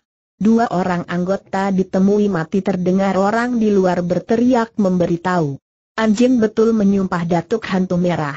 Cepat dia mengenakan celana dan pakaiannya lalu menyembul keluar tenda. Ada apa hah sentaknya pada anggota komplotan yang tegak di depan tenda. Yang ditanya menunjuk ke arah kiri.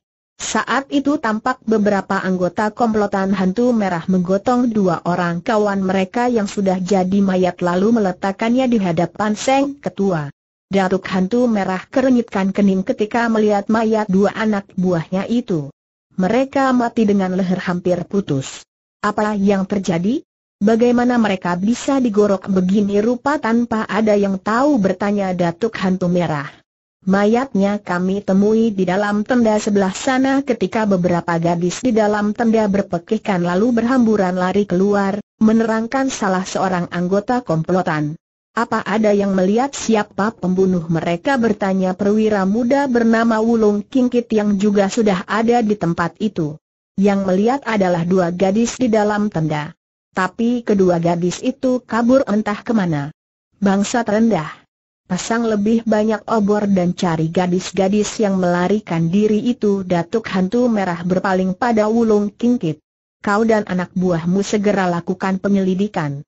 Pembunuh itu harus dicari sampai dapat. Belum sempat Wulung Kingkit menjawab, tiba-tiba terdengar suara dari dalam kereta. Kalian tidak usah susah-susah mencari, aku pembunuh dua anggota komplotan bejat itu ada di sini. Lalu berak. Pintu kereta terdengar ditendang hingga mental berantakan. Dari dalam kereta keluar seorang pemuda berambut gondrong sambil bertolak pinggang. Dia bukan lain adalah pendekar 212 Wiro Sableng. Wulung Kingkit segera hunus goloknya. Para anggota komplotan lainnya juga melakukan hal yang sama, segera mencekal senjata masing-masing. Ketika lebih dari selusin orang hendak menyerbu, Datuk Hantu Merah berseru. Tahan. Sebelum dia kita cincang, aku ingin tahu siapa bangsat gondrong ini adanya, lalu Seng Ketua maju empat langkah dan membentak. Gondrong. Katakan siapa dirimu. Mengapa berani membunuh dua anak buahku? Nama Kuiro Sableng. Aku membunuh dua anjing itu karena dia hendak memperkosa dua gadis tak berdaya. Ketahuilah, masih banyak orang-orang di sini yang bakal menemui kematian karena dosa terkutuk yang sama.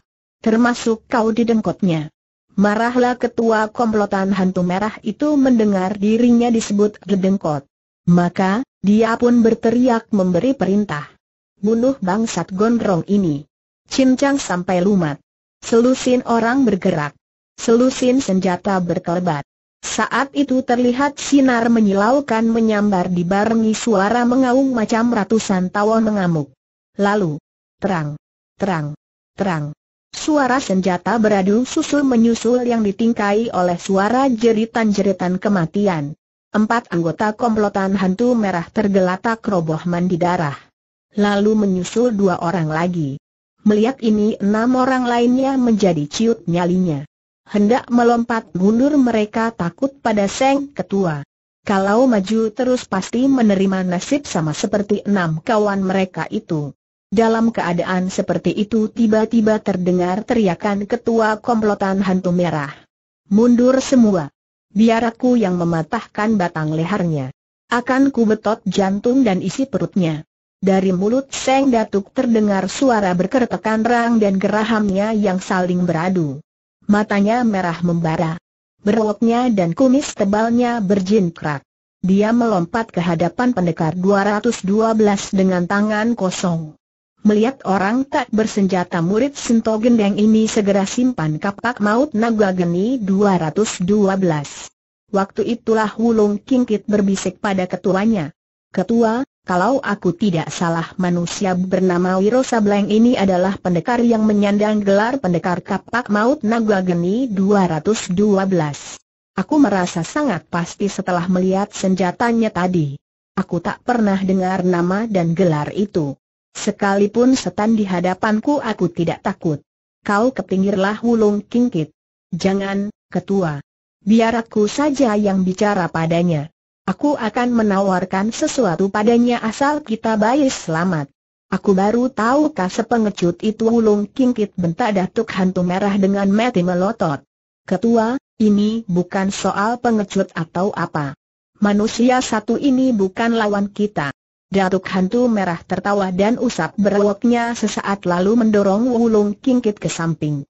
Tapi saat itu Wulung Kingkit yang sudah tahu apa yang bakal terjadi cepat mendahului melompat ke hadapan Wiro Sableng. Pendekar 212, aku bicara membawa usul. Habisi semua perkara antara kita. Tinggalkan tempat ini dan kau boleh membawa semua gadis itu. Wiro keluarkan siulan keras lalu tertawa lebar. Usul yang menggiurkan perwira palsu jawab Wiro. Wulung Kingkit terkesiap. Bagaimana bangsat ini tahu aku perwira palsu dia bertanya dalam hati. Pendekar, apa yang aku usulkan adalah atas nama kerajaan. Kau boleh tidak menghormati diriku dan kami semua. Tapi kau wajib menghormati kerajaan. Wiro tertawa bergelak. Perwira tengik. Ternyata otakmu bukan cuma bisa berpikir keji, tapi juga pandai mengatur rencana licik. Kalau kau mau memberikan kepala komplotan hantu merah padaku, baru aku mau membuat urusan ini selesai. Mendengar ucapan Wiro itu, Datuk Hantu Merah menggembor marah. Dia menerjang ke depan. Kali ini Wulung Kingki tidak mau mencegah lagi. Dia cepat menyingkir ke samping dan diam-diam mulai berpikir untuk melarikan diri tegak berhadapan-hadapan begitu rupa tinggi pendekar 212 hanya sampai sebahu datuk hantu merah. Tangan Seng Datuk yang panjang melesat ke arah batang leher Wiro.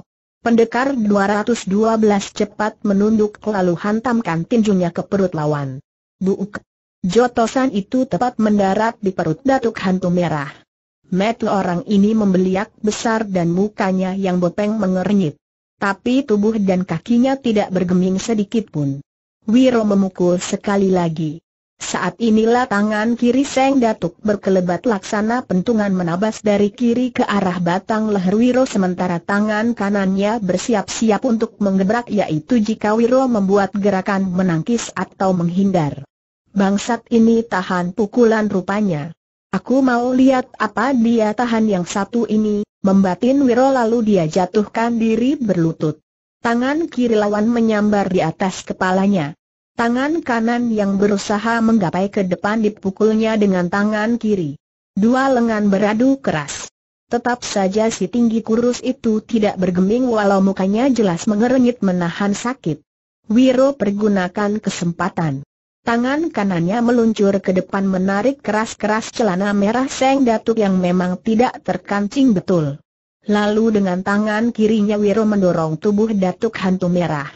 Karena kedua kakinya tertahan oleh celana yang merosot, Seng Datuk hilang keseimbangan lalu. Bruk!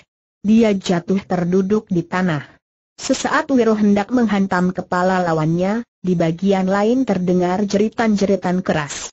Anggota komplotan hantu merah nampak lari kian kemari menyelamatkan diri.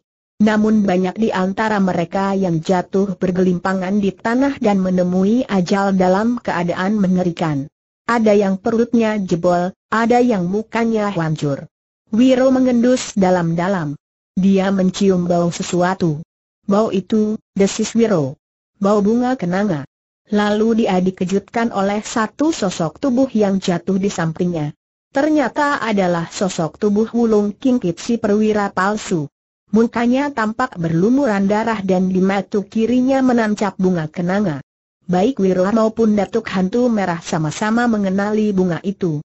Seng Datuk yang hendak melabrak dengan satu serangan tangan kosong serta merta batalkan niatnya.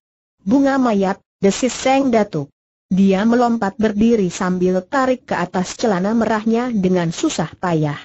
Dewi bunga mayat desisnya lagi penuh ketakutan. Dia tidak lagi perdulikan Wiro. Wiro pun tidak lagi perdulikan manusia satu itu. Yang ada dalam benaknya saat itu adalah bunga si darah jelita.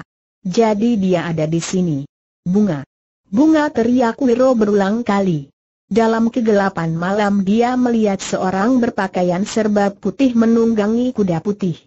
Bunga memanggil Wiro. Akhirnya ditemuinya juga gadis yang dicari-carinya selama ini. Dia berlari ke arah kuda dan penunggangnya. Namun saat itu si penunggang telah menggebrak kuda putihnya mengejar Datuk Hantu Merah yang tengah melarikan diri. Begitu terkejar si penunggang jambak rambut Seng Datuk lalu menyeretnya beberapa belas langkah.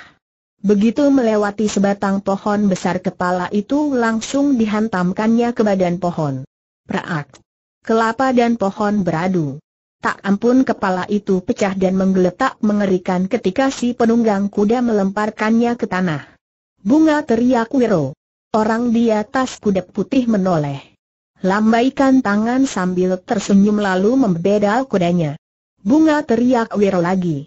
Kelabakan dia mencari kuda yang bisa dibedal. Begitu dapat, Wiro langsung mengejar kuda putih dan Dewi Bunga mayat si penunggangnya. Keluar dari hutan Jatiroto Seng Dewi ternyata melarikan kudanya ke daerah persawahan dan berhenti di sebuah bangunan kecil di tepi sawah tepat dekat sebuah mata air. Wiro sampai pula di bangunan kecil itu dan dapatkan bunga telah duduk di dalam, memandang padanya sambil tersenyum. Seperti lupa diri Wiro langsung melompat merangkul Seng Dara. Bunga, aku mencarimu berhari-hari. Rasanya seperti mau gila tidak melihatmu, berucap Wiro. Seperti mau gila berarti belum gila benaran kan ujar bunga. Ah, kau masih tega mempermainkanku. Ke mana saja kau selama ini? Bagaimana kau tahu-tahu bisa muncul di hutan Jatiroto? Eh, pertanyaanmu banyak amat. Apakah semua itu sangat penting bagimu? Tentu saja penting. Kini aku menemuimu. Jangan harap aku akan melepaskanmu bunga. Aku akan ikut ke mana kau pergi. Perlahan-lahan bunga melepaskan pelukan Wiro. Sambil menatap mata pemuda itu dia berkata, tidak mungkin Wiro. Tidak mungkin kau mengikuti ke mana aku pergi. Tidak mungkin bagaimana? Bukankah aku sudah bilang kalau aku mencintaimu? Eh, ucapan Wiro terputus. Mengapa kau tidak meneruskan kata-katamu, Will?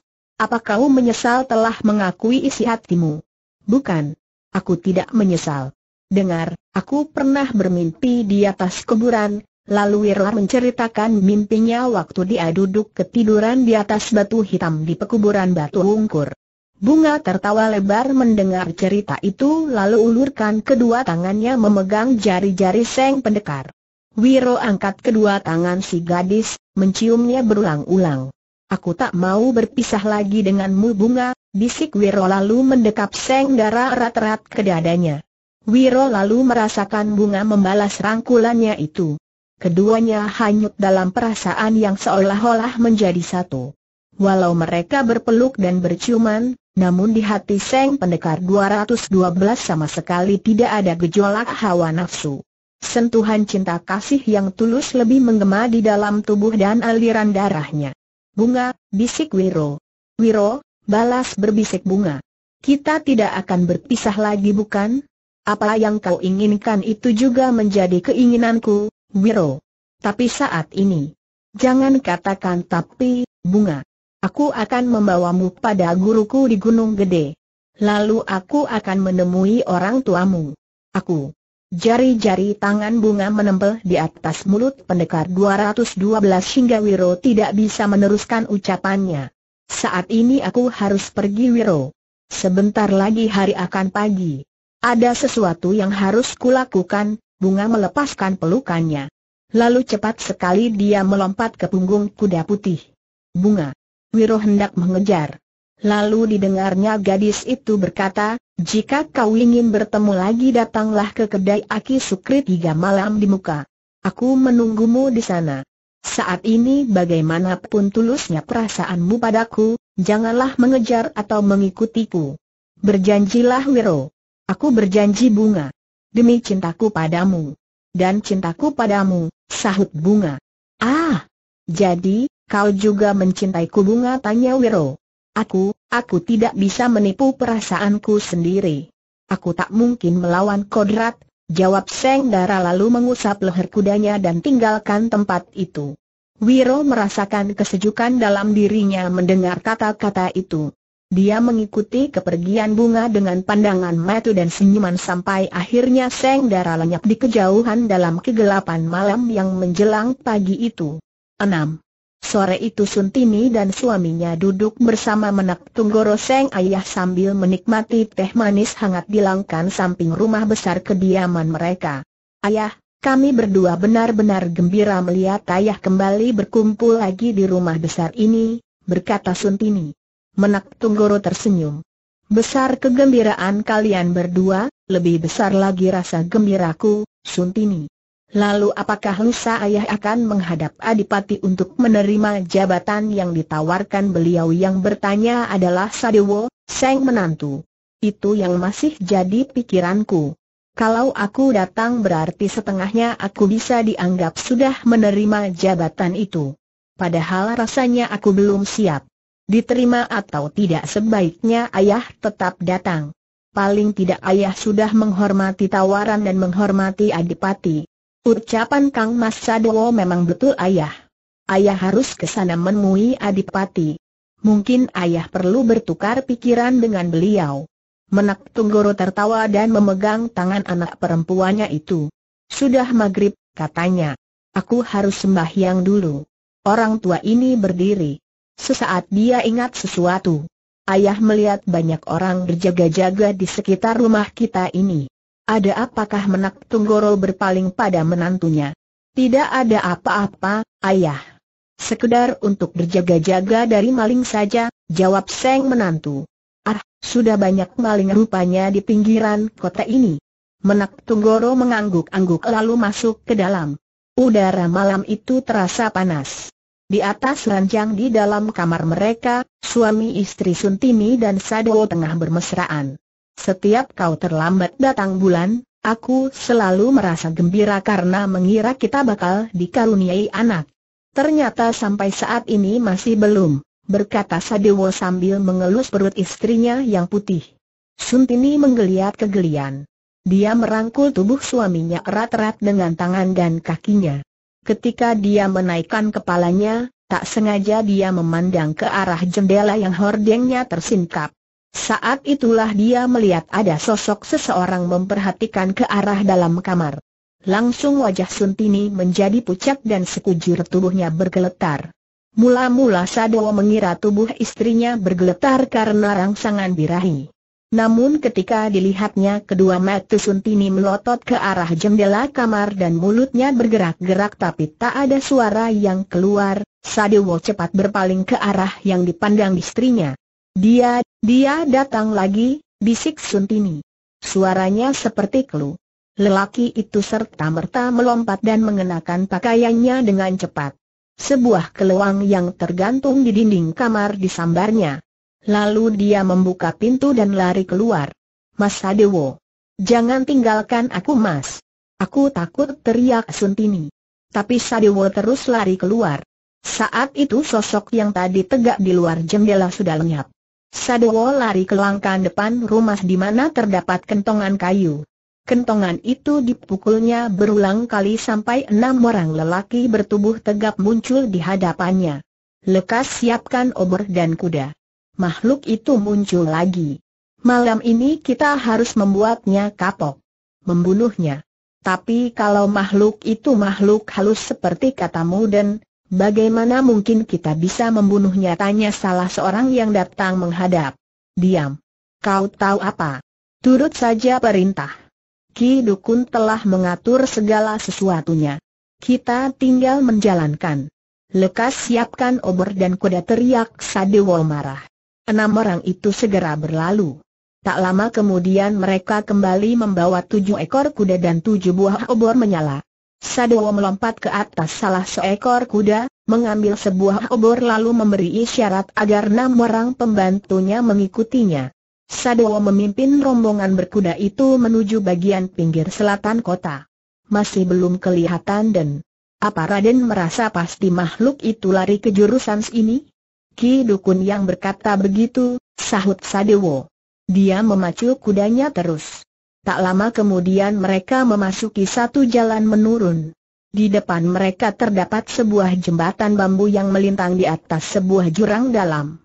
Dulunya jurang itu merupakan sebuah aliran sungai. Namun karena tidak dialiri air lagi, sungai dalam itu berubah menjadi jurang. Raden tiba-tiba salah seorang dari enam pembantu berteriak seraya menunjuk ke depan. Lihat, Raden. Makhluk itu ada di depan sana. Semua kepala dipalingkan ke arah yang ditunjuk. Memang benar.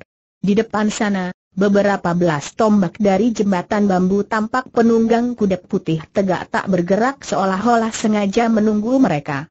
Kejar perintah Sadewo. Ingat. Begitu kalian berhasil mengejar, tusukan obor ini ke kepala dan tubuh orang itu. Dia pasti kapok. Mati konyol dimakan api dan tidak akan menggangguku lagi. Jalan. Tujuh kuda melompat ke depan menuruni jalan menuju jembatan bambu. Saat itu kuda putih di depan sana tampak bergerak pula, melewati jembatan bambu dengan perlahan-lahan. Sepertinya sengaja menunggu rombongan Sadewo di sebelah belakang. Ketika melewati jembatan bambu, orang berkuda putih keluarkan sebuah benda dari sebuah kantong dekat leher kuda. Ternyata segulung tali besar yang ujungnya ada kaitan besinya. Tali ditebar dan diputar-putar.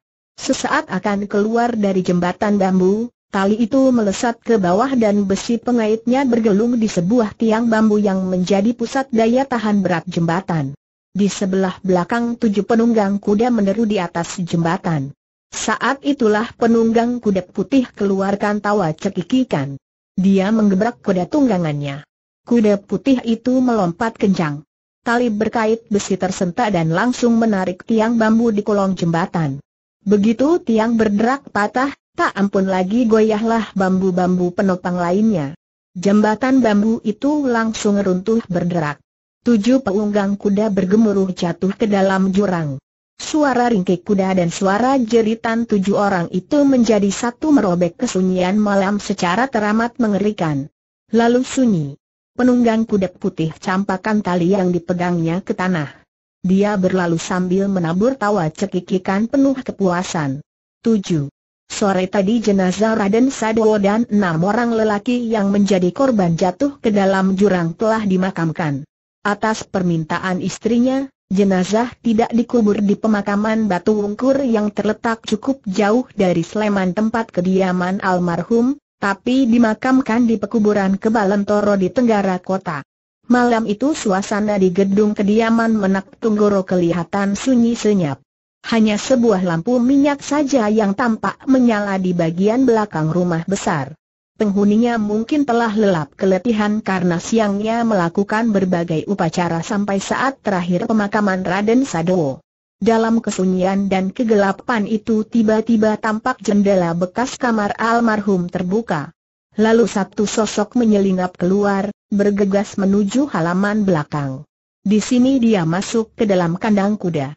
Tak lama kemudian orang tadi tampak keluar sambil menuntun seekor kuda. Di luar halaman rumah besar baru dia naik ke punggung kuda dan memacu binatang itu ke arah barat Sleman. Ki Dukun Sambarekso tersentak kaget dari tidurnya ketika ada yang mengetuk pintu rumahnya keras sekali. Dia terduduk di tepi ranjang dan memasang telinga. Suara ketukan itu kini dibarengi oleh suara orang memanggil. Ki Dukun. Lekas buka pintu. Aku perlu bicara denganmu. Ki Dukun sambar. Buka pintu. Itu suara perempuan. Orang tua hampir 70 tahun ini tapi masih bertubuh kekar bangkit dari ranjangnya, bergegas keluar kamar. Setelah menyalakan lampu minyak di ruangan depan dia langsung membuka pintu. Begitu pintu terbuka, sebatang golok tahu-tahu sudah melintang di tenggorokannya membuat dia melangkah mundur ketakutan dan akhirnya punggungnya tertahan dinding rumah. Dan Ayu Suntini, desis Ki Dukun ketika dia mengenali siapa adanya yang menempelkan golok ke lehernya. Kau datang malam-malam begini dan mengancamku dengan sebilah golok, ada apakah tanda seru? Kau tahu suamiku meninggal karena kecelakaan masuk jurang sentak perempuan yang memegang golok yang ternyata adalah Suntini, putri Menak Tunggoro, bekas istri almarhum Sadowo. Aku tahu, Denayu. Kejadian itu adalah karena kesalahanmu. Ke, kesalahanku? Aku tidak mengerti. Kau akan mengerti kalau lehermu sudah ku sembelih. Tunggu. Jangan Denayu. Jangan menuduhku begitu. Jangan berani berdusta. Beberapa waktu lalu suamiku pernah datang padamu meminta petunjuk. Betul Den Ayu. Itu memang betul. Dia memberitahu adanya gangguan atas dirimu dan dirinya sejak tiga bulan terakhir ini. Aku memberi perunjuk dan sebuah jimat untuk keselamatan. Dan karena petunjuk serta jimatmu itu suamiku mati masuk jurang bersama enam pembantunya. kau harus tebus nyawa suamiku dengan nyawa tua bang kamu golok di tangan Suntini menekan. Ki Dukun terpekik dan darah mengucur dari luka di lehernya. Dan Ayu, jangan, jangan bunuh diriku. Kurasa, kurasa suamimu melakukan kesalahan. Jangan-jangan dia melakukannya tidak sesuai petunjukku. Tidak sesuai petunjuk bagaimana tanda seru sentak Suntini. Waktu suami dan Ayu datang terakhir aku pernah memesankan, jika dia hendak menghadapi si pengganggu, dia mesti berada dalam keadaan suci. Suci? Suci bagaimana? Dirinya harus dalam keadaan bersih. Kalau sebelumnya dia pernah berhubungan badan dengan Dan Ayu maka dia harus mandi basah lebih dulu. Kalau tidak, itulah bahayanya. Kau dusta. Kau sengaja mencari dalih agar bisa cuci tangan. Biar ku bunuh kau saat ini juga. Kalau kau bunuh diriku, berarti kau tak akan pernah bebas dari si pengganggu itu. Aku masih ada Caroline untuk menolongmu dan Ayu tiba-tiba Ki Dukun berkata. Suntini yang hendak menekankan goloknya dalam-dalam ke leher si orang tua urungkan niatnya. Dengan mendelik dan membentak, apa yang ada dalam otakmu, Ki Dukun? Aku punya senjata rahasia bernama pisau daun sirih. Dengan senjata itu kau bisa menyingkirkan si pengganggu. Asal kau mau dan benar-benar mengikuti petunjukku. Baik ku beri kau kesempatan sekali lagi. Jika tidak berhasil jangan harap kau bisa lolos dari kematian Suntini turunkan tangannya yang memegang golok. Ki Dukun merasa lega. Sepasang mata orang tua itu tiba-tiba tampak berkilat seperti memancarkan sesuatu. Pandangannya menembus ke mata Suntini.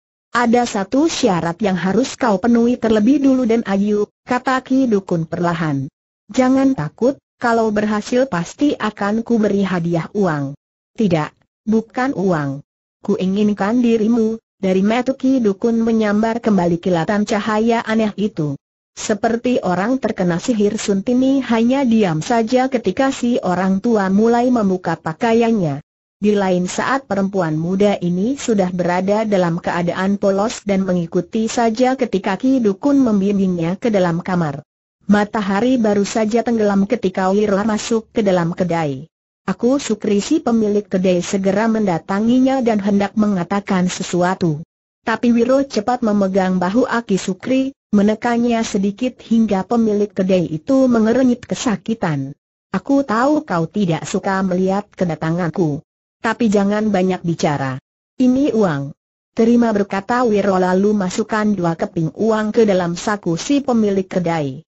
Mau tak mau Aki Sukri menerima saja uang itu lalu bertanya, kau tidak ingin memesan makanan atau minuman? Tidak, aku akan menunggu seorang sahabat. Nanti saja kalau dia sudah datang, jawab Puiro. Sahabat yang kau maksudkan itu, apakah dia ada tempo hari? Yang katamu bergelar Dewi Bunga Maya tanya Aki Sukri dengan wajah berubah. Siapa dia kau tak usah tahu. Lihat saja nanti siapa yang datang habis berkata begitu Wiro lalu duduk di sudut kedai yang agaknya kegelapan. Malam terasa merayap sangat perlahan. Sampai menjelang tengah malam Wirla masih duduk di tempatnya dalam keadaan terkantuk-kantuk. Dan orang yang ditunggunya masih belum muncul. Aki Sukri mendatangi Seng Pendekar lalu berkata, maafkan, aku bukan mengusir. Tapi kedai ini sudah mau kututup, anak muda. Orang yang kutunggu masih belum datang. Tunggu sebentar lagi, Aki. Aki Sukri keruk saku bajunya dan keluarkan dua keping uang yang tadi diberikan Wiro, lalu letakkan di atas meja. Ini uangmu. Ambil kembali dan pergi dari sini. Pendekar 212 tersenyum. Dengan tangan kirinya didorongnya pemilik kedai itu seraya berkata, orang yang ku nanti sudah datang. Kau tak usah menceloteh lagi, Aki. Siapkan dua kopi hangat. Aki Sukri berpaling ke arah pintu. Saat itu dilihatnya seorang darah berwajah cantik berpakaian putih melangkah masuk, melangkah menuju sudut di mana Wiro menunggu sambil berdiri. Pemilik kedai ini mengenali dan ingat betul, darah ini adalah darah yang tempo hari datang ke kedainya, yang menurut si anak muda bergelar Dewi Bunga Mayat. Betul dia rupanya yang datang. Penuh rasa takut Aki Sukri menyiapkan dua cangkir kopi. Kau pasti sudah kesal karena lama menunggu, kata bunga lalu duduk dekat-dekat di samping Wiro. Pendekar 212 pegang tangan bunga dan menjawab, seratus tahun pun aku bersedia menunggumu. Aku tahu kau pasti akan datang bunga. Aku sudah memesan kopi panas untuk kita berdua. Ayah aku tidak pengopi. Tapi tak apa. Malam ini malam istimewa bagi kita berdua. Aku akan minum kopi hangat bersamamu. Setuju. Malam ini malam istimewa bagi kita berdua. Kau mau aku memesan makanan? Tidak usah. Kopi saja sudah cukup. Apakah kau baik-baik saja selama beberapa hari ini? Tanya Wiro. Ya, ya.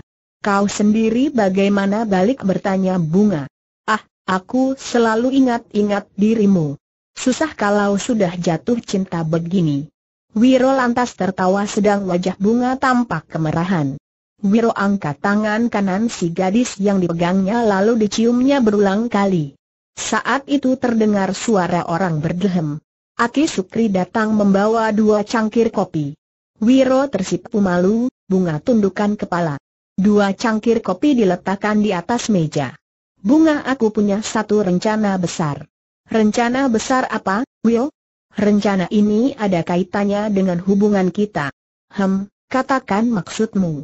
Aku akan menemui orang tuamu. Eh, untuk keperluan apa tanya bunga heran. Aku hendak melamarmu jawab pendekar 212 tanpa tedeng aling-aling. Tentu saja bunga jadi terkejut. Dia seperti hendak tertawa gelak-gelak, namun akhirnya gadis jelita ini tundukkan kepala. Aku, aku sekarang baru sadar kalau kau memang bersungguh-sungguh, ucap bunga perlahan.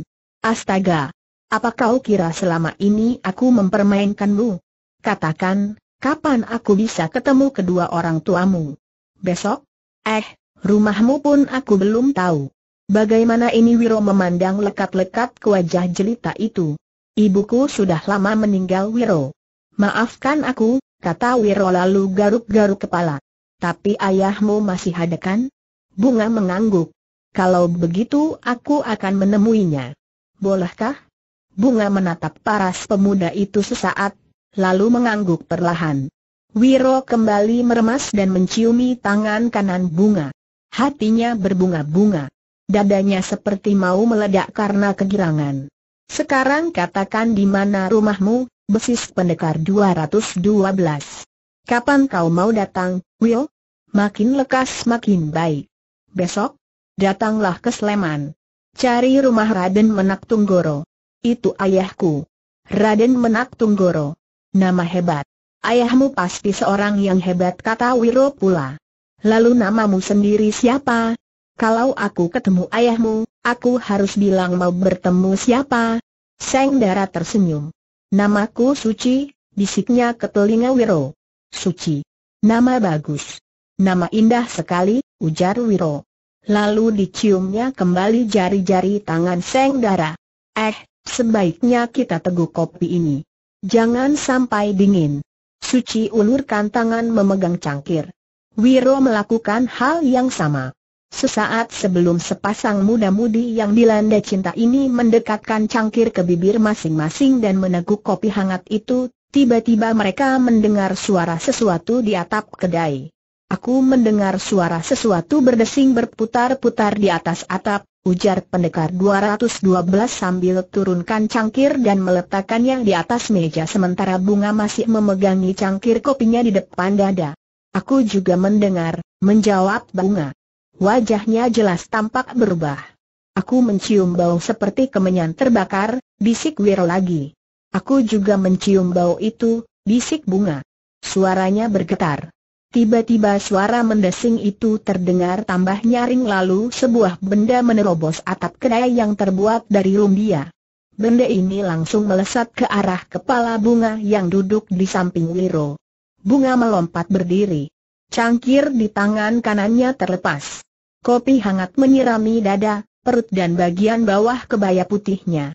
Melihat bahaya besar mengancam bunga, pendekar 212 cepat dorong gadis itu ke samping lalu tangan kanannya dihantamkan ke atas benda yang menukik melesat dari atas atap. Sinar putih berkiblat menyilaukan. Kedai itu seperti diamut gempa dan hawa panas laksana membakar. Tidak tanggung-tanggung Wiro telah lepaskan pukulan sinar matahari demi menyelamatkan orang yang dicintainya. Atap kedai jebol dan terbakar karena hantaman sinar matahari. Benda yang tadi melesat terpental ke samping dan jatuh tergeletak di atas meja. Meskipun sanggup dibuat mental tapi ternyata benda itu tidak patah atau hancur, apalagi leleh dihantam pukulan sinar matahari. Wiro dan Bunga memandang membelalak pada benda di atas meja itu. Benda ini adalah sebuah pisau aneh, badan dan matanya berbentuk daun sirih. Kelihatannya terbuat dari tembaga merah yang seluruh badannya penuh ukiran tulisan-tulisan aneh. Pada gagangnya yang juga terbuat dari tembaga terikat sehelai kain putih. Di dalam kain putih ini terdapat beberapa keping kemenyan. Inilah pisau daun sirih kiriman Ki Dukun Sambarekso. Kedua muda-mudi itu baru sadar ketika mereka mendengar pekik jerit Aki Sukri yang kalang kabut mendapatkan kedainya terbakar. Bunga, Wiro pegang lengan gadis itu, cepat keluar dari tempat ini, lalu dipagutnya pinggang Seng Dara. Sebelum lari keluar kedai, bunga masih sempat menyambar pisau daun sirih di atas meja. Di satu tempat di halaman belakang kedai keduanya berhenti berlari dan memandang ke arah kedai Aki Sukri yang terbakar akibat hantaman pukulan sinar matahari. Kasihan pemilik kedai itu. Aku harus mengganti kerugiannya. Karena tak ada jawaban dari bunga, Wiro berpaling. Saat itu dilihatnya si gadis berdiri tidak bergerak. Kedua matanya terpejam. Pisau daun sirih yang dipegangnya di tangan kanan diangkat ke depan mulutnya lalu bunga meniup tiga kali. Eh, apa yang tengah kau lakukan bunga tanya Wiro. Bunga mengangkat pisau daun sirih tinggi-tinggi di atas kepalanya. Lalu terdengar dia membentak, pergi. Kembali ke asalmu. Minum darah asal leluhurmu. Habis membentak begitu, bunga lemparkan pisau daun sirih ke udara. Senjata Iu melesat dan lenyap dalam kegelapan malam. Wiro, kita berpisah di sini, terdengar bunga berucap.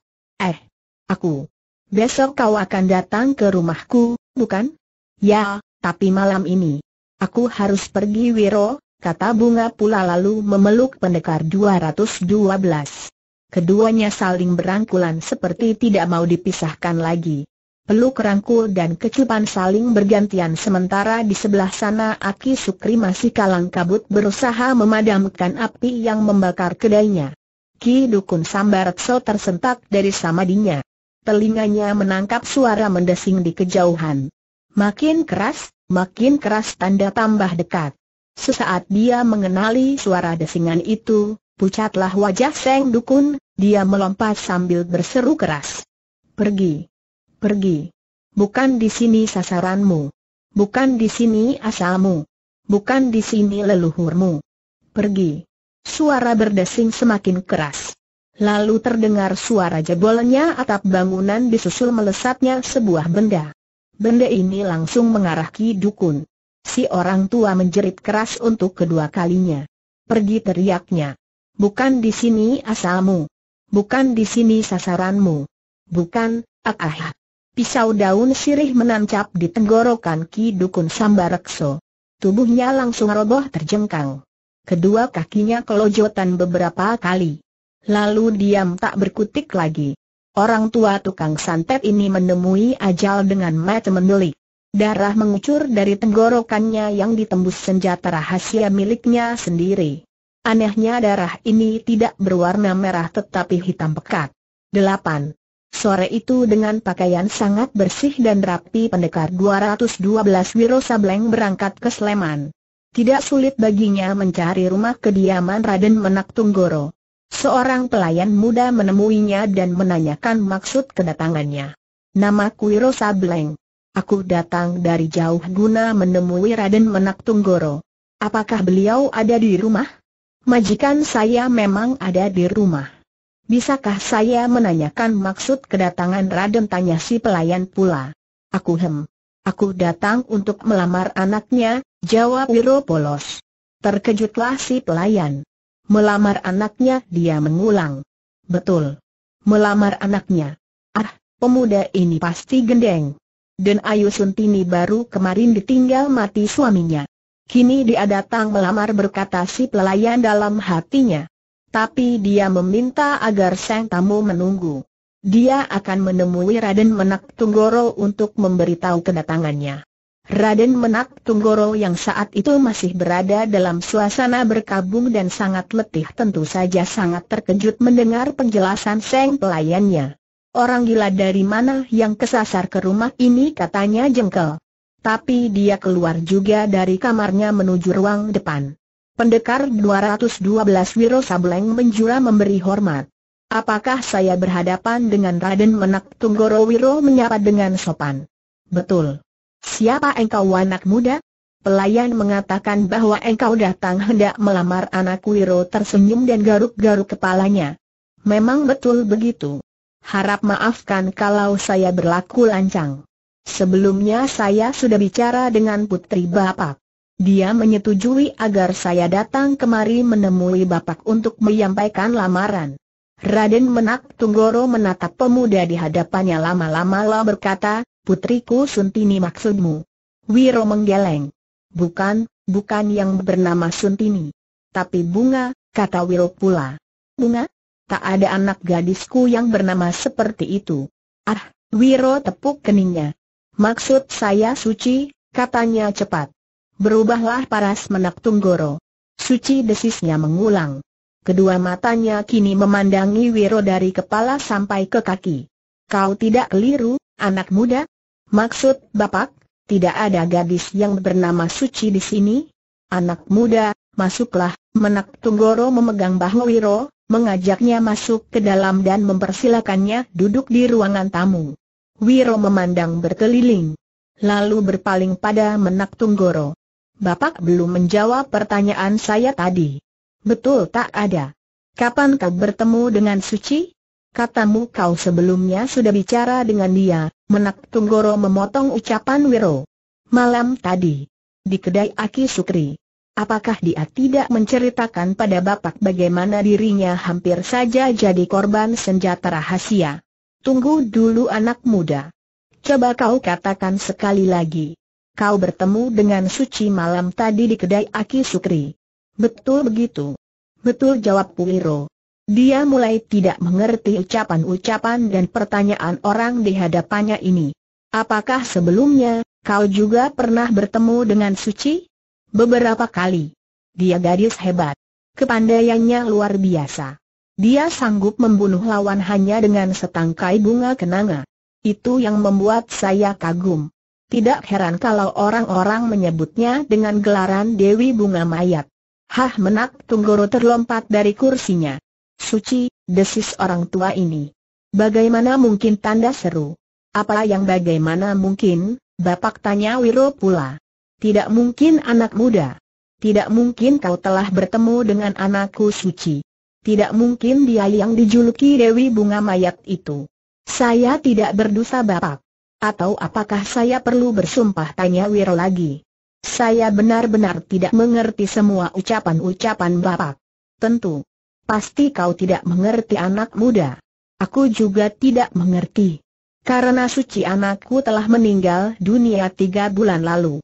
Apa kini pendekar 212 yang tersentak kaget dan terlompat dari kursinya? Bapak bergurau agaknya. Menak Tunggoro menutup wajahnya dengan kedua telapak tangan. Kepalanya digeleng-gelengkan beberapa kali. Aku tidak bergurau anak muda. Aku juga tidak berdusta. Ya Tuhan! Mengapa semua ini bisa terjadi? Dosa apa yang aku buat sehingga nasib anak-anakku tidak karuan begini rupa tanda seru? Bapak, Wiro tak bisa meneruskan kata-katanya. Dia melangkah ke pintu. Orang tua ini mungkin saja berdalih karena tidak suka aku menjadi suami anaknya. Tapi aku melihat keanehan di balik semua ini. Saat itu tiba-tiba Menak Tunggoro berdiri. Anak muda, jika kau tidak percaya mari ikut aku. Aku akan antarkan kau ke kubur putriku itu. Wiro mengernyit.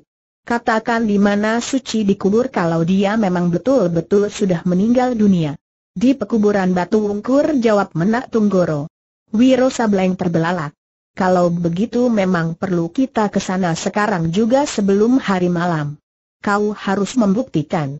Kau harus menunjukkan kuburnya suara Wiro bergetar. Tengkuknya mendadak saja menjadi dingin dan sekujur tubuhnya keringatan. Ketika dia membalik mendahului keluar dari ruangan itu, dia melihat seorang lelaki tua melangkah terbungkuk-bungkuk menuruni tangga langkah depan rumah besar. Orang tua itu Aku tahu dia sejak tadi mendengarkan pembicaraan. Siapa dia bertanya Wiro dalam hati. Selagi dia tegak dengan kepala penuh tanda tanya seperti itu, menak Tunggoro muncul di atas kereta terbuka. Dia memberi isyarat pada Wiro agar lekas naik. Lalu setelah Wiro naik, kusir segera mencambuk kuda penarik kereta. Saat itu Seng Surya bersinar merah keemasan tanda tak lama lagi akan segera tenggelam. Roda-roda kereta bergemeletakan ketika memasuki tanah pekuburan batu ungkur. Berhenti di sini kata Menak Tunggoro. Lalu turun dari kereta sementara Wiro sudah melompat duluan. Dadanya berdebar keras seolah-olah ada sesuatu yang hendak meledak dari dalam. Menak Tunggoro memberi isyarat agar mengikutinya di hadapan sebuah makam yang ditumbuhi sepokok pohon kemboja kecil orang tua ini berhenti. Astaga! Wiro segera mengenali, itu adalah makam di mana dia pernah melihat bunga berdiri lalu lenyap di antara bayang-bayang kabut malam. Batu hitam yang pernah didudukinya juga ada di situ. Matanya bergerak ke arah papan nisan yang mulai lapuk. Lutut pendekar 212 goyah ketika matanya melihat tulisan hitam bertuliskan suci di papan nisan itu. Bapak, Wiro berpaling ke arah Menak Tunggoro. Kalau kau tanyakan bagaimana ini bisa terjadi aku pun tak tahu jawabannya. Tapi bagaimana saya bisa percaya kalau ini benar-benar makam suci? Lalu siapa gadis yang saya temui selama ini? Gadis cantik berkebaya putih. Itulah pakaian yang dikenakannya ketika dia meninggal kata Menak Tunggoro. Sesuai pesannya, dia minta agar dikubur dalam peti dengan kebaya putih dan celana panjang putih lalu baru digulung dengan kain kafan. Ini bukan kebiasaan menguburkan jenazah seperti itu. Tapi Suci sendiri yang berpesan begitu.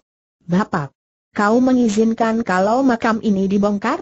Saya hanya ingin melihat bahwa jenazah di dalamnya benar-benar suci. Aku tidak mengizinkan makam anakku dibongkar. Demi Tuhan tak ada seorang pun yang boleh melakukan hal itu kata Menak Tunggoro setengah berteriak. Kalau begitu biarlah aku pergi saja. Biar semua kejadian ini berpangkal dan berujung pada keanehan. Kenahan yang tidak pernah terungkap. Wiro berbalik dan ketika dia hendak melangkah didengarnya Menak Tunggoro berkata, Tunggu. Aku akan panggilkan penggali-penggali makam lalu orang tua itu berseru memanggil kusir kereta. Tak lama kemudian tiga orang penggali makam datang ke tempat itu. Dua orang membawa pacul, Datu membawa sendokan besar seperti sekop. Sementara Seng Surya sudah hampir masuk ke ufuk tenggelamnya. Daerah pekuburan Batawungkur mulai temaram. Lekas gali sebelum malam turun ujar Wiro pada tiga penggali. Dengan tangannya ikut menyebabkan tanah galian. Tak. Salah satu pacul membentur benda keras. Wiro tak tahan lagi. Dia segera terjun masuk ke dalam lubang kubur. Sekop di tangan penggali kubur diambilnya lalu dia sendiri melakukan penggalian dengan hati berdebar sampai akhirnya dia melihat kayu penutup sebuah peti mati. Dua orang penggali makam melompat ke atas. Menyusul penggali yang ketiga. Ada satu keanehan yang membuat mereka merasa ngeri ketika melihat penutup peti mati yang ternyata masih dalam keadaan utuh, hanya rusak sedikit di beberapa sudut. Kini tinggal Wiro sendirian dalam makam itu, dia menungak ke atas, pada menak Tunggoro. Bapak, izinkan saya membuka peti mati ini. Menak Tunggoro tampak tegang. Lalu orang tua ini anggukan kepalanya. Di dalam kubur Wiro pergunakan sekop untuk menguit tepi kiri peti mati. Karena beberapa bagian yang sudah lapuk, tidak sulit membuka penutup peti mati itu. Begitu peti terbuka menebarlah bau harum bunga kenanga. Wiro seperti terpukau, tangannya gemetar, lututnya goyah. Dikuatkan hatinya. Dibukanya tutup peti mati itu lebih lebar, lebih lebar hingga akhirnya tersingkap keseluruhannya. Menak Tunggoro dan tiga penggali kubur sama-sama keluarkan seruan tercekat. Wiro sendiri untuk beberapa lamanya tertegun seperti patung. Dalam peti mati yang terbuka lebar itu kini terpampang satu keanehan luar biasa yang sulit diterima akal. Sosok mayat di dalam peti mati itu tampak utuh seperti seorang yang sedang tidur. Dan sosok mayat ini adalah sosok mayat suci. Wajahnya pucat tapi kecantikannya tetap nyata. Dia mengenakan kebaya panjang dan celana panjang putih. Di sekitarnya berserakan robekan kain kafan yang sudah melapuk. Yang membuat pendekar 212 Wiro Sableng terbelalak adalah ketika dia melihat bagaimana pada dada, bagian perut dan bagian sebelah bawah kebaya putih yang dikenakan mayat suci jelas terlihat bekas tumpahan kopi. Kopi yang tertumpah ketika malam tadi terjadi serangan pisau daun sirih di kedai Aki Sukri. Suci, bisik Wiro. Keanehan atau keajaiban apa yang kau berikan padaku? Aku tak percaya bahwa kau benar-benar sudah tiada. Kalaupun itu memang kenyataan ketahuilah bahwa dirimu ada dalam hatiku, Wiro merasakan kedua matanya menjadi panas. Kalau sebelumnya ada perasaan takut berada dalam kubur itu dan menyaksikan mayat suci, kini semua rasa takut itu lenyap tidak berbekas. Diangkat tangannya, dipegangnya tangan suci yang bersilang di atas perut. Lalu ditundukkannya kepalanya untuk mencium kening dan kedua pipi suci. Terakhir sekali dikecutnya bibir mayat itu. Lalu terdengar suara isaknya. Inilah untuk pertama kali dalam hidupnya pendekar 212 menangis, sementara empat orang di atas sana tampak bergidik melihat apa yang tadi dilakukan pemuda itu. Suci, Wiro berbisik ke telinga mayat. Aku akan pergi. Tidurlah dengan tenang. Bagaiku kau tak pernah mati.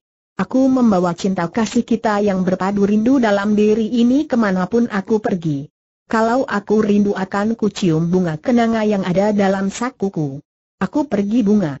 Aku pergi suci. Wiro Sableng usap kedua matanya lalu tutupkan penutup peti mati. Perlahan-lahan dia naik ke atas. Ketika sampai di atas hari sudah gelap. Tiga penggali makam kembali bekerja. Kali ini untuk menimbun tanah kubur yang tadi digali. Ketika pekerjaan itu selesai, Menak Tunggoro memegang bahu Seng Pendekar lalu berkata, Sekarang kau melihat sendiri kenyataan ini, anak muda. Kenyataan yang kita semua tak akan bisa mengerti. Inilah kekuasaan Gusti Allah, orang tua itu diam sesaat. Aku akan segera kembali ke Sleman. Kau ikut. Terima kasih. Saya akan tetap di sini malam ini, jawab Wiro pula. Menak Tunggoro diikuti tiga penggali makam tinggalkan tempat itu. Kini tinggal Wiro sendirian, tegak termangu di hadapan suci. Tiba-tiba telinganya mendengar suara bergemerisik di sebelah kiri. Sekali lompat saja murid Sinto Gendeng ini berkelebat ke arah setumpukan semak belukar. Ampun! Jangan pukul diriku terdengar suara orang berteriak. Wiro cekal leher pakaian orang itu. Ternyata dia adalah orang tua bungkuk yang dilihat Wiro di gedung kediaman Menak Tunggoro. Apa yang kau lakukan di sini bentak Wiro antara marah dan heran. Kau sengaja memata-matai diriku. Siapa yang menyuruh? Aku. Aku tidak memata-mataimu, juga tak ada yang menyuruh, berkata orang tua itu. Lalu apa maksudmu mengikut sampai ke sini, sembunyi di balik semak belukar? Aku, aku bermaksud baik, anak muda. Ada sesuatu yang ingin ku ceritakan padamu. Aku, aku merasa kasihan padamu. Tambah satu lagi keanehan di tempat ini ujar Wiro.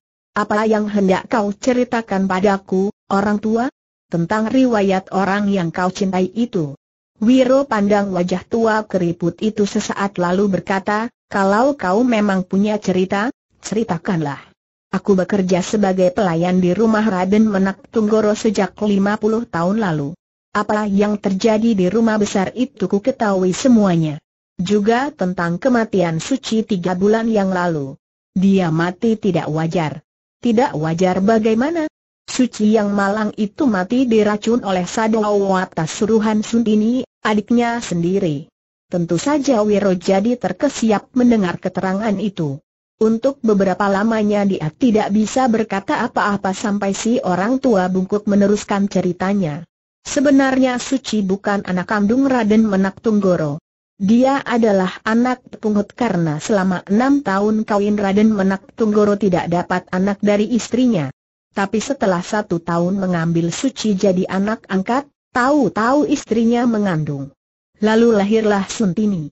Kedua kakak beradik tiri itu sama-sama menjadi dewasa dengan kenyataan bahwa Suci jauh lebih cantik dari adik tirinya. Sebagai remaja putri, Suci memiliki seorang kekasih yaitu Sadewo. Celakanya, Sadewo ini dicintai setengah mati oleh Suntini. Untuk merusak hubungan Suci dengan Sadewo, Suntini lalu menceritakan siapa sebenarnya Suci. Pemuda itu ternyata menjadi bimbang dan akhirnya tenggelam dalam rayuan Suntini yang memang seorang gadis licik. Untuk menyingkirkan Suci maka Sadewo disuruhnya meracun Suci dengan janji bahwa jika mereka kawin nanti setengah dari kekayaan ayahnya akan diserahkan pada Sadewo. Dan Sadewo lalu meracun Suci. Itu terjadi tiga bulan lalu. Nah, itulah yang bisa kuceritakan padamu anak muda. Apa yang terjadi selanjutnya kau sendiri sudah tahu. Selamat tinggal anak muda. Aku harus pergi sekarang. Terima kasih orang tua. Keteranganmu sangat berharga bagiku, jawab Wiro lalu memutar tubuhnya dan duduk di atas batu hitam di samping makam. Angin malam bertiup dingin. Kegelapan semakin memekat. Pendekar 212 duduk tak bergerak. Di telinganya terngiang kembali kata-kata balasan yang diucapkan Suci. Aku berjanji bunga. Demi cintaku padamu. Dan cintaku padamu. PAMAT